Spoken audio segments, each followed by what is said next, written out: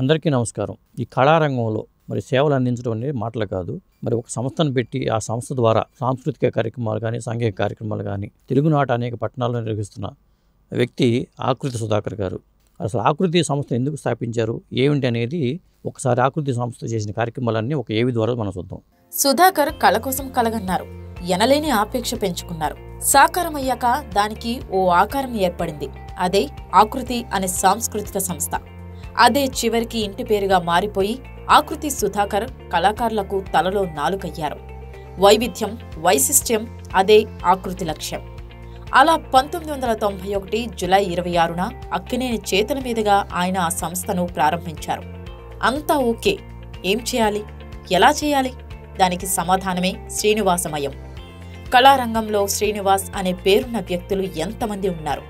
అందరినీ ఒకే వేదిక మీదకు పిలిచి సత్కరిస్తే ఆలోచన వచ్చిందే తడువు అమలులో పెట్టారు. గాయకుడు పివి శ్రీనివాస్ నటుడు కోటా శ్రీనివాసరావు గజల్ శ్రీనివాస్ సంగీత దర్శకుడు వందేమాతరం శ్రీనివాస్ మిమిక్రీ శ్రీనివాస్ వీరందరికీ సన్మానం చేసి తనకున్న వైవిధ్యాన్ని నిరూపించుకున్నారు. మళ్ళీ అన్వేషణ. ఈసారి దృష్టి అలనాటి ఎన్టీఆర్ చిత్రాల్లో కళాఖండం లవకుశ మీదకు మళ్ళింది. లవకుశలుగా నటించిన ఆ బాలనటులు ఇప్పుడు ఎక్కడున్నారు? ఏం చేస్తున్నారు? శోధించి ఎట్టకేలకు సాధించారు? నాడు ఆ పాత్రలు పోషించిన నాగరాజు సుబ్రహ్మణ్యంల జాడ కనుక్కొని వారిద్దరిని ఒకే వేదికపై సత్కరించి శభాష అనిపించుకున్నారు హెచ్ఎం రెడ్డి పురస్కారాన్ని ఏర్పాటు చేసి Victory Madhusudan Rao D Ramanaidu BB Rajendra Prasad K Viswanath U Visweswararao DVS Raju Anjalidevi Vijaya Nirmala Singeetham శ్రీనివాసరావులను సత్కరించారు. తన తల్లిదండ్రుల పేరిట ఏర్పాటు చేసిన సంస్కార అవార్డును అక్కినేని నాగేశ్వరరావు శ్రీనారాయణ రెడ్డిలకు ప్రదానం చేశారు. ప్రవచనకర్త గరికపాటి నరసింహారావు గారికి పద్మశ్రీ పురస్కారం రావడంతో ఉపరాష్ట్రపతి వెంకయ్యనాయుడు చేతుల మీదుగా ఆయనను సత్కరించారు. ఈ రోజుల్లో నిండు నూరేళ్ళు బతకడం ఎవరికైనా అసాధ్యమే. దాన్ని సుసాధ్యం చేసి వందేళ్ళకు పైగా జీవిస్తున్న ప్రముఖులను గుర్తించి వారిని పూర్ణాయుష్మాన్ భవ పేరుతో సత్కరించారు. సన్మానాలు సినీ సాహిత్య రంగాలకే కాకుండా విభిన్న రంగాలకు విస్తరించాలనుకుని అందులో భాగంగా ఇస్రో శాస్త్రవేత్త కమలాకర్ను సన్మానించారు. అలనాటి నటీమణి వెండిధరను మన దేశం చిత్రం ద్వారా పరిచయం చేసిన నిర్మాత సి కృష్ణవేణి వందో పుట్టినరోజు వేడుకను గత డిసెంబర్ ఇరవై నాలుగున సినీ ప్రముఖుల సమక్షంలో సత్కరించారు. క్రికెట్ అనేది మైదానంలో ఆడాల్సిన ఆట. కానీ దాన్ని పాటలతో మేళవించి వేదిక మీద ఆడించిన ఘనత కూడా ఆకృతి సుధాకర్దేననడం అతిశయోక్తి కాదు. ఒక కళాకారుడు ఒకటి కంటే ఎక్కువ కళల్ని ప్రదర్శించడం చాలా అరుదు. కానీ ఐదు కళా ప్రక్రియలను ఒకే వేదిక మీద ప్రదర్శించడం ఆసక్తికరమే కదా. ఆకృతి లలిత కళాకృతి పేరిట తనే కవిగా గాయకుడిగా నటుడిగా నాట్యకారుడిగా మిమిక్రీ కళాకారుడిగా తన కార్యక్రమానికి తనే వ్యాఖ్యాతగా పంతొమ్మిది వందల తొంభై తొమ్మిదిలో ఓ గొప్ప ప్రదర్శన ఏర్పాటు చేశారు. ఇందులో ఆయనతో బాలు పాడటం నటుడు శ్రీహరి నటించడం ఓ విశేషం. మరో వైవిధ్యమైన కార్యక్రమానికి కూడా ఆయన శ్రీకారం చుట్టబోతున్నారు. ప్రవచన త్రిమూర్తులను ఒకే వేదికపై కలపాలన్నది ఆయన సంకల్పం. వారే చాగంటి కోటేశ్వరరావు గరికపాటి నరసింహారు సామవేదం షణ్ముఖ శర్మ. అది ఎప్పుడో ఏమిటో ఆయనే చెప్పాలి. ఏవి చూశారు కదా? ఇప్పుడు ఆకృతి సుధాకర్ గారితో మనం మాట్లాడి ఈ సంస్థకు సంబంధించిన విశేషాలు మనం తెలుసుకుందాం. సార్ నమస్తే అండి. నమస్కారం అండి. సార్ ఆకృతి అంటే ఆ పేరులోనే ఒక మంచి ఇది ఉంది. అసలు ఆకృతి అనే పదం ఎలా పుట్టింది? ఆకృతి అనే ఈ పదానికి నిర్వచనం అంటే ఒక ఒక ఆకారం. ఆకృతి అంటే ఒక ఆకారం. అదే. అంటే కళలన్నిటినీ సమాహారం చేసి ఒక బొమ్మను ప్రతిష్ఠిస్తే ఎలా ఉంటుందో దానికి ఆకృతి అని పేరు పేరు పెడితే అలా ఉంటుంది. అంటే ఆకృతి అనేది ఒక స్వరూపం. సర్వ కళల అన్ని కళల యొక్క సమాహారం సమాహారంగా ఈ ఆకృతి అనే పేరును అలా పెట్టుకోవడం జరిగింది అనమాట అంటే పేరు పెట్టేటప్పుడు ఎన్ని రకాలుగా ఆలోచించి ఎన్ని పేర్లు అనుకుని ఇక్కడికి వచ్చారు ఆకృతికి వచ్చారు మీరు? చాలా పేర్లు అనుకున్నామండి. అన్ని పేర్లు అనుకున్నాం కానీ ఈ పేర్లలో కూడా చాలా పొడవైన పేర్లు ఇబ్బందికరం. ఓకే. పిలవడానికి కానీ ఎవరికి చెప్పడానికి కానీ ఇబ్బందికరం కాబట్టి ఎంత తక్కువ రెండు లేదా మూడు అక్షరాలతో పేరు ఉంటే బాగుంటుందనే ఒక కాన్సెప్ట్ని తీసుకొని ఎన్నో పేర్లు ఆలోచించాం. అన్ని పేర్లలో కూడా నాకు తెలిసి ఆకృతి అంటే ఒక స్వరూపాన్ని ప్రతిష్ఠించినట్టుగా ఉంటుంది. అది సంగీతం కానివ్వండి సాహిత్యం కాని విభిన్న కళలు. ఒక కళల సమాహారంగా ఆకృతి అనే పేరుని అలా ఫార్ములేట్ చేయడం జరిగిందనమాట అంటే ఎందుకు వచ్చింది ఆలోచన? ఎప్పుడు వచ్చింది? నేను చిన్నప్పటి నుంచి కూడా డ్రామాలు ఎక్కువగా ఆడేవాడినండి నేను సిక్స్త్ క్లాస్లో ఉన్నప్పుడు కృష్ణ కుచేల అని ఒక నాటకం మా స్కూల్ టీచర్స్ వేయించారు. ఓకే. నేను కృష్ణుడిగా ఒక మిత్రుడు కూర్చున్నాడుగా వేసి అదొక పది పదిహేను నిమిషాల అప్పుడు నాటకం అని కూడా తెలియదు. ఒక పుస్తకంలో ఒక పాఠ్యాంశంగా ఉండింది కృష్ణ కుచేలా అని ఒక చిన్న డ్ర- డ్రామాలాగా ఫార్ములేట్ చేసి ఒక పుస్తకంలో మా క్లాస్ పుస్తకంలో ఉన్న డ్రామాని టీచర్స్ వేయించారనమాట. సో అప్పటి నుంచి ఓహో ఇది చేస్తే బాగుంటుంది. ఇలా చూ ఇలా చేస్తే నలుగురు చూస్తారు నలుగురు అప్సెట్ చేస్తారు. మనకు ఒక ఒక చిన్న పేరు కూడా మన పేరు ఇలా వినిపిస్తుంది అని ఒక చిన్న తాపత్రయం కూడా ఉండింది. సో ఆ రకంగా అక్కడి నుంచి స్టార్ట్ అయింది. ఓకే. అక్కడి నుంచి స్టార్ట్ అయ్యి నేను నాకు తెలిసి మొట్టమొదటి సినిమా లవకుశ సినిమా. నేను నా చిన్నప్పుడు మేబీ లెవెన్ ఇయర్స్ ఆ టైంలో అది చాలా ప్రభావితం చేసిన సినిమా. మీకు. తెలుసు ఎన్టీ రామారావు గారి అవును. అంజలీదేవి గారు. అప్పుడు ఊళ్ళ నుంచి బండ్లు కట్టుకుని వచ్చి ఆ సినిమాని చూసేవాళ్ళు. సో అందులోని పాటలు కానివ్వండి పద్యాలు కానివ్వండి ఆ ఇద్దరు చిన్నారిలో కుషులు పాడుతున్నప్పుడు చేస్తున్నప్పుడు అవన్నీ చాలా గ్రాప్స్ చేసి ఆ పాటలు పద్యాలు మేము ఒక చిన్న నాటికగా మేము ప్రజెంట్ చేసేవాళ్ళం. సో ఆ రకంగా ఇంప్రూవ్ చేసుకుంటూ వచ్చానన్నమాట. ఈ కళల పట్ల ఈ ఈ- రకమైన కార్యక్రమాల పట్ల ఒక అవగాహన కానివ్వండి ఒక ప్రజెంటేషన్ తీరుగా కానివ్వండి. ఏ ఊరు సొంత ఊరు మీది? నాగర్ కర్నూలు జిల్లా అండి ప్రస్తుతం. ఇంతకుముందు మహబూబ్ నగర్ పాలమూరు జిల్లా అనేవాళ్ళు. ఇప్పుడు నాగర్ కర్నూలు కూడా జిల్లా అయింది. అక్కడి నుంచి ఐదు కిలోమీటర్లు మా ఊరు. శ్రీపురం. ఊరి పేరు శ్రీపురం. ఓకే ఏం చదువుకున్నారు మీరు? నేను ఎంఏ తెలుగు అండి. ఎంఏ తెలుగు ఉస్మానియా. ఉస్మానియాలో ఎంఏ తెలుగులో అప్పుడు నారాయణ రెడ్డి గారు ప్రొఫెసర్. ఒక విధంగా చెప్పాలంటే ఎంఏ తెలుగుకి పెద్ద అంత ముఖ్యమైన సబ్జెక్ట్గా దాన్ని చూసేవాళ్ళు కాదు. ఎవరు ఎంఏ తెలుగుని సాహసం చేసేవాళ్ళు కానీ నారాయణ రెడ్డి గారి పాటలు మాటలు ఆయన పాఠాలు వినాలని ఒక రకంగా అలా ప్రేరేపింపబడి నేను ఎంఏ తెలుగులో జాయిన్ అయ్యాను. ఎంఏ తెలుగు చేసిన తర్వాత నాకు ఎంఏ ప్రీవియస్లో ఉండగానే నాకు టెలికాంలో జాబ్ వచ్చింది ఓకే. బిఎస్ఎన్ ఇప్పుడు బిఎస్ఎన్ఎల్ అంటే సో ఆ టెలికాంలో నేను జాయిన్ అయ్యి ఎంఏ ఫైనల్ నేను నిజాం కాలేజీలో ఎంఏ తెలుగు కంప్లీట్ చేశాను. అప్పటి నుంచే గురువు గారి ఆశీర్వాదం ఈ కళలకు ఈ కళను ముందుకు తీసుకుపోవడానికి నాకు నారాయణ రెడ్డి గారే స్ఫూర్తి ఆయన నా ప్రత్యక్ష గురువు కాబట్టి వారి స్ఫూర్తితో నేను కొనసాగిస్తూ మీ వృత్తి ఏమో టెలికాంలో జాబు ప్రవృత్తి ఏమో కళల పట్ల అపేక్ష. కరెక్ట్. ఈ రెండింటి వల్ల దీనికోసమే ఆకృతి అనేది పెట్టాల్సి వచ్చిందా? నిజమే తప్పకుండా.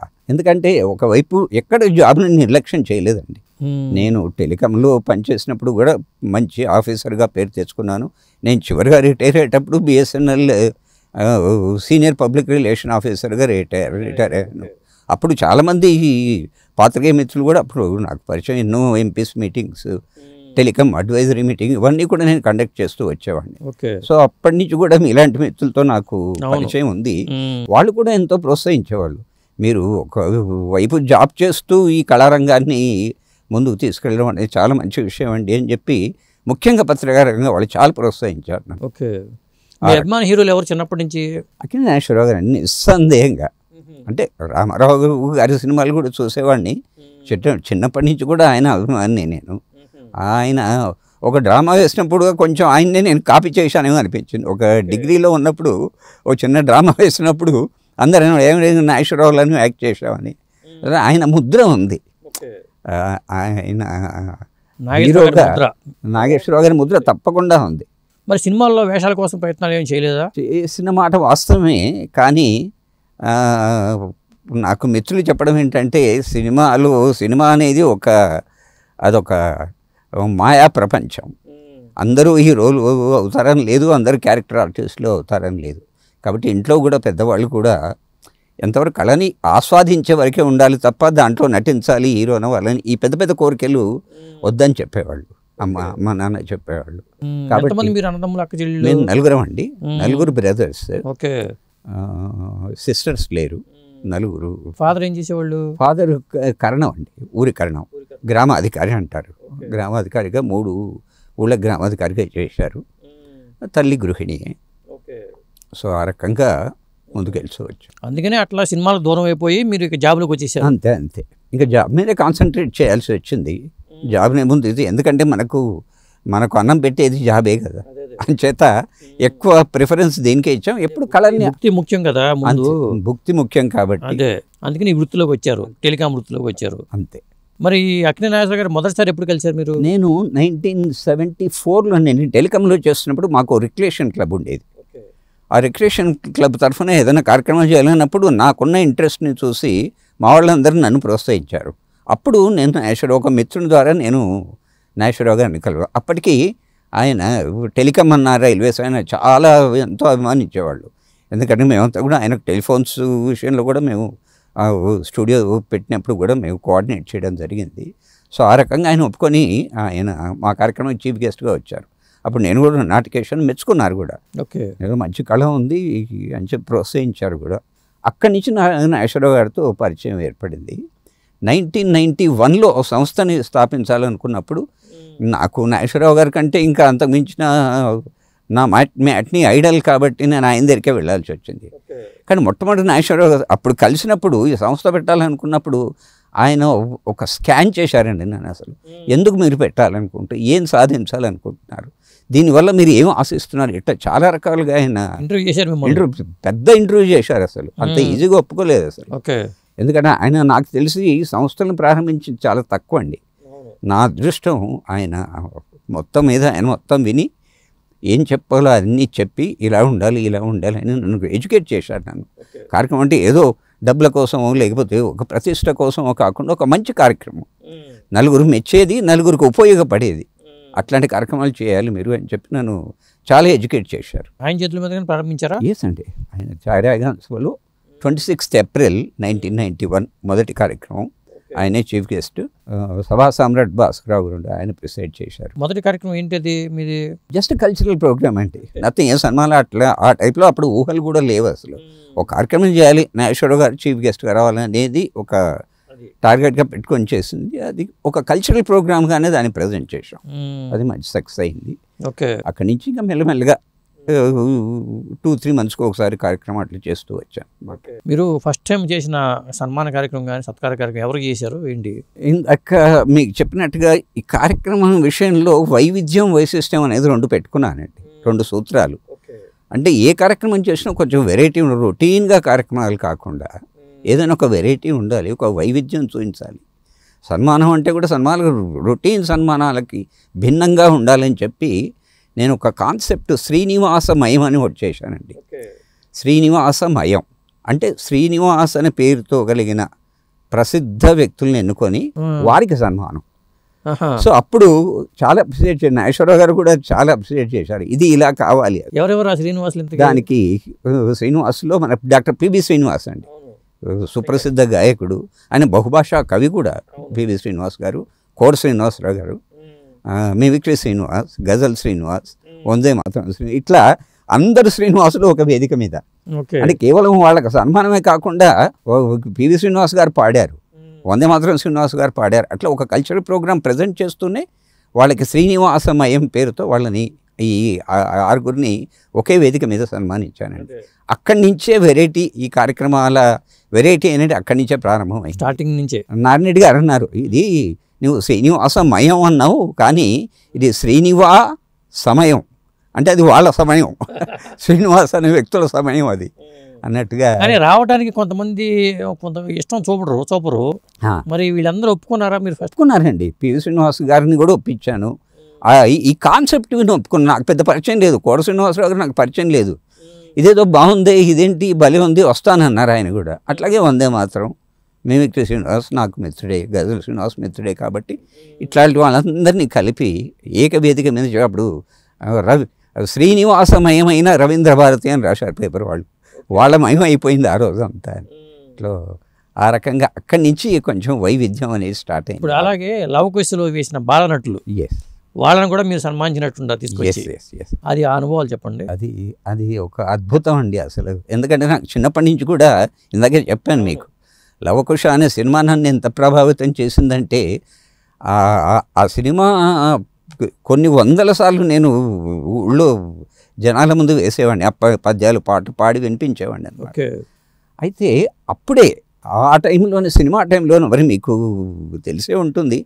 అందులో ఒక అబ్బాయి లేడు అనేది అప్పుడు మర- మరణించాడు అనేది ఒక టాక్ ఉంది అప్పుడే. అప్పటికే టాక్ ఉంది. అప్పటికే టాక్ ఉంది. ఇద్దరు ఒకళ్ళే ఉన్నారని. ఎస్ ఎగ్జాక్ట్లీ అసలు. కానీ ఇద్దరు ఉన్నారు. ఇద్దరు ఉన్నారు వాళ్ళు కానీ తెలియదు ఎవరికి ఆ సినిమా తర్వాత వాళ్ళకు కూడా అవకాశాలు లేవు అసలు.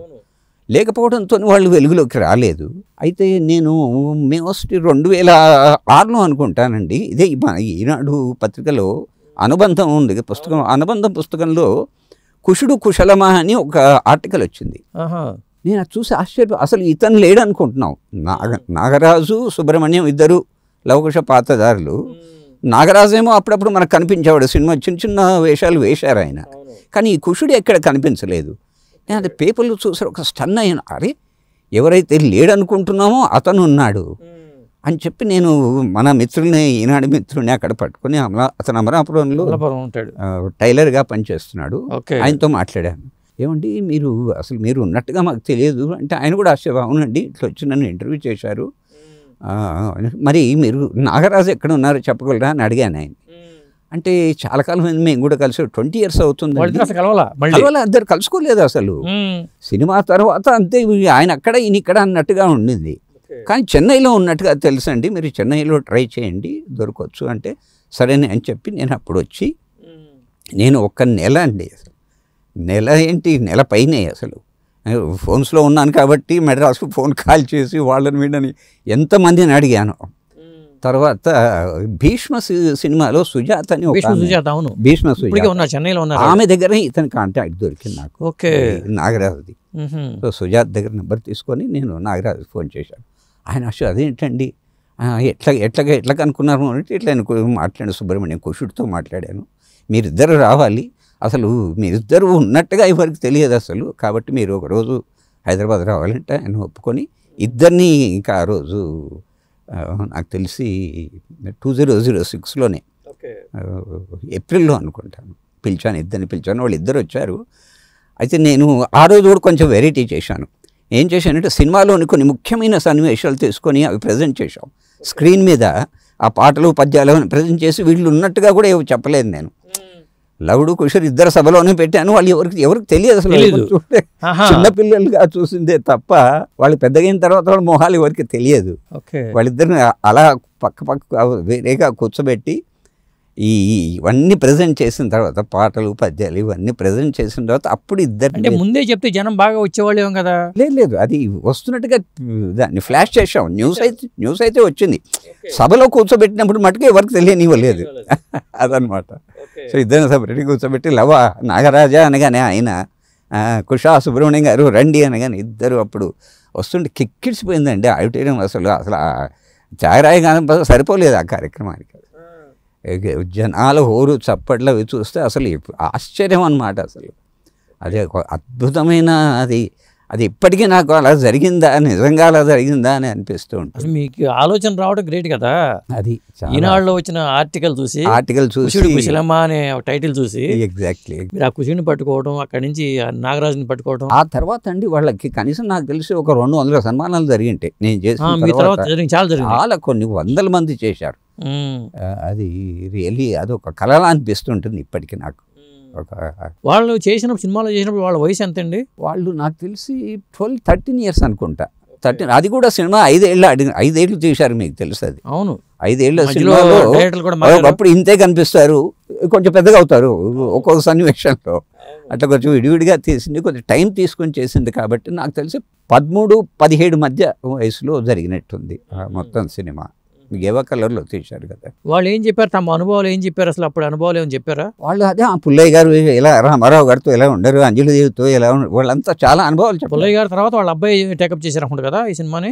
ఎస్ సిఎస్ రావు గారు. సిఎస్ రావు పీ గారు పుల్లయ్య పీ పుల్లయ్య అనుకుంటాను ఆ. పీ పుల్లయ్య గారు. Okay okay. పీ పుల్లయ్య గారి తర్వాత సిఎస్ రావు గారు టేకప్ చేసి అదే. చేసి ఆయన కూడా బాగా తీశాడండి ఎక్కడ కూడా ఇద్దరు సపరేట్గా చేసినట్టుగా ఎక్కడ అనిపించదు మనకి. ఒక మంచి కంటిన్యూటీ ఉంటుంది. కాకపోతే వీళ్ళు కొంచెం చిన్న పెద్ద అలా కనిపిస్తారు తప్ప ఎక్కడ మనం వాళ్ళని నోటీస్ చేయలేము అసలు. ఈ మధ్యన ఆ సినిమాలో పాటలు పాడిన వాళ్ళ పేరుతో ఇద్దరు వేరే సింగర్స్ కూడా పాడుతున్నారు అట్లాగే పాడుతున్నారు. అవును ఎగ్జాక్ట్ రామకథనం వినరయ్యా చాలా చాలా అద్భుతంగా పాడుతున్నారు కొంతమంది. సింగర్స్. అసలు అందులో పాటలు అవి ఘంటసాల గారి ఆ మహానుభావుడు ఎక్కడ ఉన్నాడో కానీ అసలు అపురూపమైన దృశ్యకావ్యం అండి. అంతకంటే అప్పుడు ఆ కాలంలోనే కొన్ని కొన్ని లక్షలు అప్పుడు లక్షలు ఇప్పుడు కోట్లు పాన్ ఇండియా అసలు పాన్ ఇండియా సినిమానే అది కూడా ఒక విధంగా చెప్పాలంటే. వీళ్ళు ఆ ఫైనాన్షియల్గా పిల్లలు ఎట్లా ఉన్నారని నాగరాజు గారు సుబ్రహ్మణ్యం గారు ఎట్లా సెటిల్ అయ్యారు? లేదండి ఆ తర్వాత వీళ్ళకి ఇతనేమో పూర్తిగా కుషుడైతేనేమో అతనికి సినిమాలే లేవు. అతను టైలరింగ్లో స్థిరపడ్డాడు. టైలరింగ్ చేస్తూ జీవనం సాగించాడు. లవుడు సంబంధించిన నాగరాజు సంబంధించినంత వరకు మటు కొన్ని వేషాలు వేశాడు. ఆ తర్వాత కూడా వేషాలే అతను కూడా ఇబ్బంది పడుతూనే ఉన్నాడు. ఆ తర్వాత నేను పిలిచిన తర్వాత ఇక్కడ వచ్చి సెటిల్ అయ్యాడు ఇక్కడ వచ్చి ఇక్కడే సెటిల్ అయ్యాడు ఓకే. అతను చనిపోయే వరకు కూడా ఇక్కడే హైదరాబాద్లోనే ఉన్నాడు. ముర్షిదాబాద్లో ఎక్కడో ఇల్లు తీసుకున్నాడు సుధాకర్ గారు నేను ఇక్కడే ఉంటున్నానండి. నాకు చిన్న చిన్న వేషాలు వస్తున్నాయి. ఈ కార్యక్రమం తర్వాత ఆయన కొంచెం భుక్తికి ఇబ్బంది లేకుండా నడిచింది రండి. బాగానే ముందుకెళ్ళారు. ఎందుకు ఎట్లా చనిపోయారైనా ఏ అనారోగ్యం అనారోగ్యం ఏదో వచ్చిందంటే నాకు ఫోన్ చేశారు కూడా అసలు. ఏదో ఇట్లా జాయిన్ అవుతున్నాను కొంత డబ్బు కూడా అడిగాడు. కానీ నేను ఏదైనా సమకూర్చుకొని ఏదైనా చేద్దాం అనుకున్న లోపలనే బ్యాడ్ న్యూస్ వినాల్సి వచ్చింది. Okay okay. మరి ఆయన కుచుడు ఇంకా అప్పుడు టచ్లో ఉన్నారు? ఆయన ఆయన టచ్లో ఉన్నాడండి. ఈ ఇతను అమలాపురంలో ఉంటాడు అప్పుడప్పుడు ఎప్పుడు పిలిచినా వస్తాడు పాపం. రెండు మూడు సార్లు కూడా పిలిచాను నేను. ఇప్పుడు ఇలాంటి ఈవెంట్లు చేయాలంటే మీకు డబ్బులు కూడా ఖర్చు అవుతాయండి. అవునండి. ఎట్లా అది ఎట్లా చేస్తారు మీరు? ఇప్పుడు నాకు సంబంధించినంత వరకు అయితే నాకు స్పాన్సర్సేనండి. ఎవరైనా కార్యక్రమం చేస్తా అంటే కొంచెం ఇంట్రెస్ట్ ఉన్న స్పాన్సర్స్ ఉంటారు. అంటే వాళ్ళ కంపెనీ కానివ్వండి వాళ్ళ ఇండివిజువల్గా వాళ్ళ పర్సనాలిటీని డెవలప్ చేసుకోవడానికి కూడా కొంతమంది యాక్సెప్ట్ చేసి వస్తారు. ఆ రకంగా స్పాన్సర్స్తోనే ఇప్పటివరకు అయితే ఎక్కడ కూడా ఇబ్బంది పడలేదు. నేను కంటిన్యూస్గా చేస్తున్నాను. ఏదైనా మంచి కార్యక్రమం చేస్తానంటే వాళ్ళు డెఫినెట్గా హెల్ప్ చేస్తారు. ఓకే. త్రూ స్పాన్సర్సే వాళ్ళకి మీరు రానుపోను టికెట్స్ మీరే తీస్తారండి? రానుపోను టికెట్స్ కానీ ఇట్లా ఇవన్నీ చేస్తారా మీరు? తప్పదు. కొన్ని కొంతమంది ఆర్టిస్టులకు ఇవ్వాల్సి వస్తుంది. ఇప్పుడు వీళ్ళే ఉన్నారు. వాళ్ళేమి డబ్బులు ఉన్న వాళ్ళు కాదు కాబట్టి కనీసం వాళ్ళకి ట్రైన్ లేకపోతే ఫ్లైట్ ఇవ్వాల్సి వస్తుంది. అంతకు తప్ప అంతకు మించి పెద్దగా వాళ్ళు ఎక్స్పెక్ట్ చేసిన కొంత డబ్బు కలెక్ట్ చేసి కూడా ఇచ్చానులేండి. వాళ్ళు అవకాశాలకు చేసినప్పుడు వాళ్ళిద్దరికి కొంత ఫైనాన్షియల్గా కూడా హెల్ప్ చేశారు హెల్ప్ చేశాం అదే అదే. హెల్ప్ చేసాం ఆ తర్వాత చాలా మంది పిలిచి వాళ్ళకి డబ్బులు ఇచ్చిన వాళ్ళు ఉన్నారు. మీ కార్యక్రమం తర్వాత? నా కార్యక్రమం తర్వాత. చాలా మంది చాలా మంది చేశారు. కొన్ని వందల మంది అసలు. ఆంధ్రదేశం అంతటా జరిగింది. ప్రతి చోట నీరాజనాలే వాళ్ళకి అసలు. అంచేత ఆ రకంగా వాళ్ళిద్దరిని చూపించగలిగానని ఒక తృప్తి ఇప్పటికీ నాకు. అదే. ఇప్పుడు ఆకృతి సుధాకర్ అని అంటూ ఉంటారు అందరూ. కానీ అసలు ఆకృతికి మీ ఇంటి పేరుగా మారిపోయింది. అసలు ఇంటి పేరు ఏంటి పెంటమరాజు అండి. పెంటమరాజు. ఇంటి పేరు. సుధాకర్. పెంటమరాజు అంటే ఇక్కడ గుర్తుపెట్టారు ఎవరు గుర్తు ఎవరైనా అంటారు. అంటారు. అదే. మా నారాయణ రెడ్డి గారే నారాయణ రెడ్డి గారు ఏం చేశారు? సంస్థ తరఫున చేస్తున్న ముఖ్యుడు కాబట్టి ఆ పేరుతోనే పిలుద్దామని చెప్పి నారాయణ రెడ్డి గారే మమ్మల్ని ఆకుల సుధాకర్ వంశీరామరాజు అని కిన్నెర రఘురామ్ అని ఇలా పిలవడం ఆయన స్టార్ట్ చేశారు. అక్కడి నుంచి అలాగే మాకు అలాగే పిలవడం కంటిన్యూ అవుతూ ఉంటాను ఓకే. ఇప్పుడు ఇలాంటి సంస్థలు ఆకృతి కానీ కిన్నెర యువకళా వాహిని ఇలా రకరకాల సంస్థలు ఉన్నాయండి. వీటిలో ఎవరు జెన్యున్గా ఉంటారు ఎవరు ఉండరు ఎవరు కమర్షియల్గా ఉంటారని ఎలా తెలుస్తుంది మనకి? చాలా మంచి ప్రశ్న ఇది. చాలా లాజికల్ క్వశ్చన్ కూడా కానీ చెప్పడం కష్టం. ఒక సంస్థ తరఫున నేను చెప్ప బట్ ఎవరి ఇండివిజువల్ ప్రజెంటేషన్ వాళ్ళదండి. నాకు తెలిసి ప్రముఖ సంస్థలు ఏవైతే ఉన్నాయో మంచి కార్యక్రమాలు చేస్తున్నాయి. మా మధ్య కూడా మంచి కోఆర్డినేషన్ ఉందండి. వీ హ్యావ్ వెరీ గుడ్ మాకు జెలసీ కానీ ఆయన వచ్చేసాడు అయ్యో నేను ఇచ్చేయాల్సిందే అని ఈ ఈ టైప్ ఆఫ్ ఫీలింగ్స్ ఎప్పుడు మా సంస్థల మధ్య లేదు. చాలా కార్డియాల్ మా ఇది- మంచి కోఆర్డినేషన్ ఉంది. ఒకరి కార్యక్రమంలో ఒకరు అప్రిషియేట్ చేసుకుంటాం. మొన్న కూడా కింద రఘురామ్తో మాట్లాడినప్పుడు అప్రిషియేటెడ్ కృష్ణవేణి గారి కార్యక్రమాన్ని. మీ సంస్థలు చేసేవన్నీ కళాసేవ అనుకోవాలా? లాభాపేక్షతో చేస్తున్నారు అనుకోవాలా? లేకపోతే కమర్షియల్గా చేస్తున్నారు అనుకోవాలా ఇట్లా ఏమనుకోవాలి మనం? ఆకృతికి సంబంధించిన వరకు నేను చెప్తానండి. మనకు కమర్షియల్గా అంటే కమర్షియల్గా నాకు అవసరం నేను గవర్నమెంట్లో పనిచేశాను నాకు డెబ్బై వేల పెన్షన్ వస్తుంది. డబ్బు కోసమే చే కార్యక్రమం చేయాల్సిన పని అయితే డెఫినెట్గా ఆకృతికి లేదు. నాకేంటంటే పేరు ముఖ్యమండి. ఒక మంచి కార్యక్రమం చేశామన్న ఒక తృప్తి నలుగురికి ఒక మంచి కార్యక్రమం ప్రజెంట్ చేశామన్న ఒక పేరు పేరు కోసమే ఆ అవకాశంలోనే కనపడుతుంది అది. తాపత్రయపడదు. పేరు కోసం ఎక్కుతాడు లేకపోతే వాళ్ళిద్దరిని ఇప్పుడు అవకాశాలు తీసుకుంటే అంత కష్టపడి రెండు నెలలు వెతికి వాళ్ళు పట్టుకోవాల్సిన అవసరం లేదు. సో అంచేత ఏంటంటే పేరు ముఖ్యం. మన పేరు తెలియాలి. మంచి కార్యక్రమాలు చేస్తున్నా అనే మంచి పేరు రావాలనేది ప్రాధాన్యం. కానీ డబ్బు అవసరమే. డబ్బు లేకుండా ఏ కార్యక్రమం కాదు. కాదు. కాకపోతే డబ్బే ప్రధానంగా ఎప్పుడు కార్యక్రమాలు చేయలేదు. సో ఆ రకంగా ఇప్పుడు మీ- మీ సంస్థ తరపుని చెక్ పవర్ మీకే ఉంటుందండి? అంతేనండి. నే నాకు జన్ మరి మిగతా వాళ్ళు ఎప్పుడన్నా ఇదేంటి ఎప్పుడు మీరేనా మేము కూడా ఉండాలి అనే పరిస్థితి వస్తే? చాలా మంచి పాయింట్ ఇది. ఇప్పటివరకు అంటే ఇప్పటివరకు సంస్థల తరఫున ఎవరైతే చేస్తున్నారో వాళ్ళ పట్ల ఒక మంచి అభిప్రాయం ఉందండి జనానికి. సపోజ్ నేనే చేస్తున్నా లేదా కిన్నెర రఘురామ్ చేస్తున్నారు. వాళ్ళని అబ్జెక్ట్ చేసి మేము ఉంటామని ఇప్పటి వరకు మా అనుభవంలోకి ఎప్పుడు రాలేదు. ఒకవేళ వస్తే అది ఆస్వాదించదగ్గదే నేను కూడా ఎంతకాలమో చేయలేకపోవచ్చు. కాబట్టి నేను కూడా ఎవరికైనా వారికి ఇవ్వాల్సిందే ఈ పగ్గాలు కాబట్టి అట్లాంటి వాళ్ళు నిజంగా వస్తే సంతోషమే. కానీ సిన్సియారిటీ ముఖ్యం. సిన్సియారిటీ ముఖ్యం. ఈ సంస్థ చేస్తున్న ఒరవడిని కాపాడాలి. డెడికేషన్ ఉండాలి. డెడికేషన్ ఉండాలి. అది ఉంటే ఎవరికైనా ఇవ్వడానికి ఏం అభ్యంతరం లేదు. ఓకే. ఇప్పటివరకు అయితే మమ్మల్ని ఎవరు క్వశ్చన్ చేసి మీరే చేయాలా అన్న అభిప్రాయం అయితే ఎవరు వ్యక్తం చేయలేదు. బట్ వస్తే మటుకు డెఫినెట్గా ఆహ్వానించదగ్గతే ఎందుకంటే ఎప్పుడు మేమే అనే ఇది కూడా ఉండకుండా నలుగురు వాళ్ళకు కూడా ఒక కాస్త అనుభవం వస్తుంది కదా ఇట్లాంటి కార్యక్రమాలు చేయడానికి. ఇంకోటి అండి సీనియర్ నటీమణి కృష్ణవేణి గారు వందో పుట్టినరోజు మొన్న డిసెంబర్ ఇరవై నాలుగు తారీఖు చేసుకున్నారు. సాధారణంగా అలాంటి నటీమణి ఇండస్ట్రీలో ఉంటే ఫిల్మ్ ఛాంబరో ఇండస్ట్రీ పెద్దలో కూడుకుని సన్మానం చేయాలి. కానీ వాళ్ళు కాకుండా ఆకృతి సంస్థ మీరు చేశారు ప్రసాద్ ల్యాబ్లో. దానికి కారణం బీజం ఎక్కడ పడిందంటేనండి కృష్ణవేణి గారు ఒక పుస్తకం రాశారు. కృష్ణవేణి తరంగారు మీరు కూడా చదివింటారు. ఆమె జీవిత చరిత్ర ఒక సంగ్రహంగా ఒక పుస్తకం వచ్చింది. ఆ పుస్తకాన్ని ఈ అనురాధ గారు నాకు ఫోన్ చేసి అడిగారు అనమాట సుధాకర్ ఇట్లా పుస్తకం అమ్మ పేరు మీద వచ్చింది ఇది రిలీజ్ చేయాలి. ఆ, ఎవరితో చేస్తే బాగుంటుందంటే అమ్మ అంతకంటేనా? ఆమె అప్పుడు నైంటీ సెవెన్ నైంటీ ఎయిట్. అది అప్పుడు మినిస్టర్ నిరంజన్ రెడ్డి గారు నాకు క్లోజ్గా పరిచయం కాబట్టి ఆయన దగ్గరికి వెళ్ళి ఆయన ఇంట్లోనే January first two zero twenty two అనుకుంటా. సో అక్కడ పుస్తకం అది రిలీజ్ చేసిన చేసిన వారు. ఓకే. ఆయన కూడా చాలా బాగా స్పందించారు. ఆయన కూడా ఆమె పాదాలు మొక్కారు. అసలు తల్లి మీరు ఉన్నట్టుగా ఎవరు అసలు కృష్ణవేణి గారి విచిత్రం ఏంటంటేనంటే ఆమె ఉన్నట్టుగా కూడా చాలా మందికి తెలియదు అసలు నాకు కూడా ఒక పదిహేను సంవత్సరాల నుంచి పరిచయం అసలు. ఎన్టీ రామారావు లాంటి మహానుభావుణ్ణి సినిమాకి పరిచయం చేసిన వ్యక్తిగా మనం ఎంత గౌరవించాలని అసలు మొన్న చేసింది చాలా తక్కువ సోమసుందర్ గారు. అసలు మీరు అన్నట్టుగా ఇండస్ట్రీ చేయాల్సింది ఇది. ఇండస్ట్రీకి అంత పెద్ద మనిషి ఎవరున్నారండి మనకి ఇండస్ట్రీలో? బతికిన వాళ్ళు నటులు లేరు. నటులు లేరు. అందులోనూ ఆమె దిగ్గజాలు ఎన్టీ రామారావు గారిని పరిచయం చేయడమే కాక కీలుగురం అండి. చాలా పెద్ద హిట్ ఇచ్చారు అక్కినే నాగేశ్వరరావు గారికి.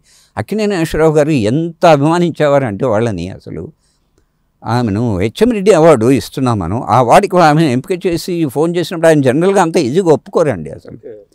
ఫోన్ చేసి ఇలా కృష్ణవేణి గారికి ఇస్తున్నట్టు ఓ వెరీ గుడ్ సుధాకర్ నేను వస్తున్నాను కార్యక్రమానికి. అంత చాలా ఎక్స్టెంపోర్గా స్పందించారనమాట. చాలా గౌరవం ఉంది ఆమె అంటే కానీ మీరు అన్నట్టుగా ఒక ఇండస్ట్రీ తరఫున చేసింటే మాత్రం చెయ్యాలి కూడా. చేయాలి కూడా. నాకు తెలిసి చేస్తారని నమ్మకం ఉంది నాకు. కానీ నేను కూడా ఇండస్ట్రీకి అందరికీ ఉత్తరాలు రాశానండి. చిరంజీవి గారికి రాశాను. బాలకృష్ణ గారికి వెంకటేష్ గారికి నాకు అందరికీ ఉత్తరాలు రాశాను. ఏమంటే ఇలా చేస్తున్నాను. మీకు తెలియదు కాదు ఆ పెద్ద మనిషిని గౌరవించవలసిన అవసరం ఉంది అనుకున్నాను. అంచేత దయచేసి మీరు రండి అని కూడా వాళ్ళని ఆహ్వానించాను. కారణాల వల్ల బహుశా వాళ్ళు బిజీగా ఉంటారు కదా. బహుశా చాలా స్పందించాలండి. నాకు వెంకటేష్ గారు రిప్లై ఇచ్చారు. పవన్ కళ్యాణ్ గారు చాలా మంచి పని చేస్తున్నారు. లేఖలే రాస్తారా? ఫోన్ చేయకుండా? నేను లెటర్ రాస్తానండి. ఫోన్ చేయనండి. ఫోన్ చేస్తే వాళ్ళకి వాళ్ళకి ఇబ్బంది ఉత్తరం అనేది కనీసం మనకు పర్సనల్గా వెళ్ళలేకపోయినా ఉత్తరం అనేది చాలా బాగా పనిచేస్తుంది. నేను ఏ కార్యక్రమానికైనా ఎవరినైనా అవార్డుకి సెలెక్ట్ చేసుకుని నేను ఫస్ట్ ఉత్తరం రాస్తాను. ఉత్తరం రాస్తారు. ఉత్తరం ద్వారా నా అభిప్రాయం వాళ్ళకి తెలియజేస్తాను. ఓకే. అప్పుడు వాళ్ళు అట్లా ఉత్తరాలతో చాలా కార్యక్రమాలు నేను ఆర్గనైజ్ చేశాను. చాలా బాగా స్పందించారు. అది ఒక అదృష్టం అండి ఆ మహానుభావురాల్ని. వంద సం అది సరిగ్గా వందో రోజు. వంద వంద వందో పుట్టినరోజు. రో- సంవత్సరంలోకి ఆ రోజే అడుగు పెట్టారు. December twenty fourth. అవును. అదే రోజు చేయడం నిజంగా అది పూర్వజన్మ సుకృతం సుందర్ గారు.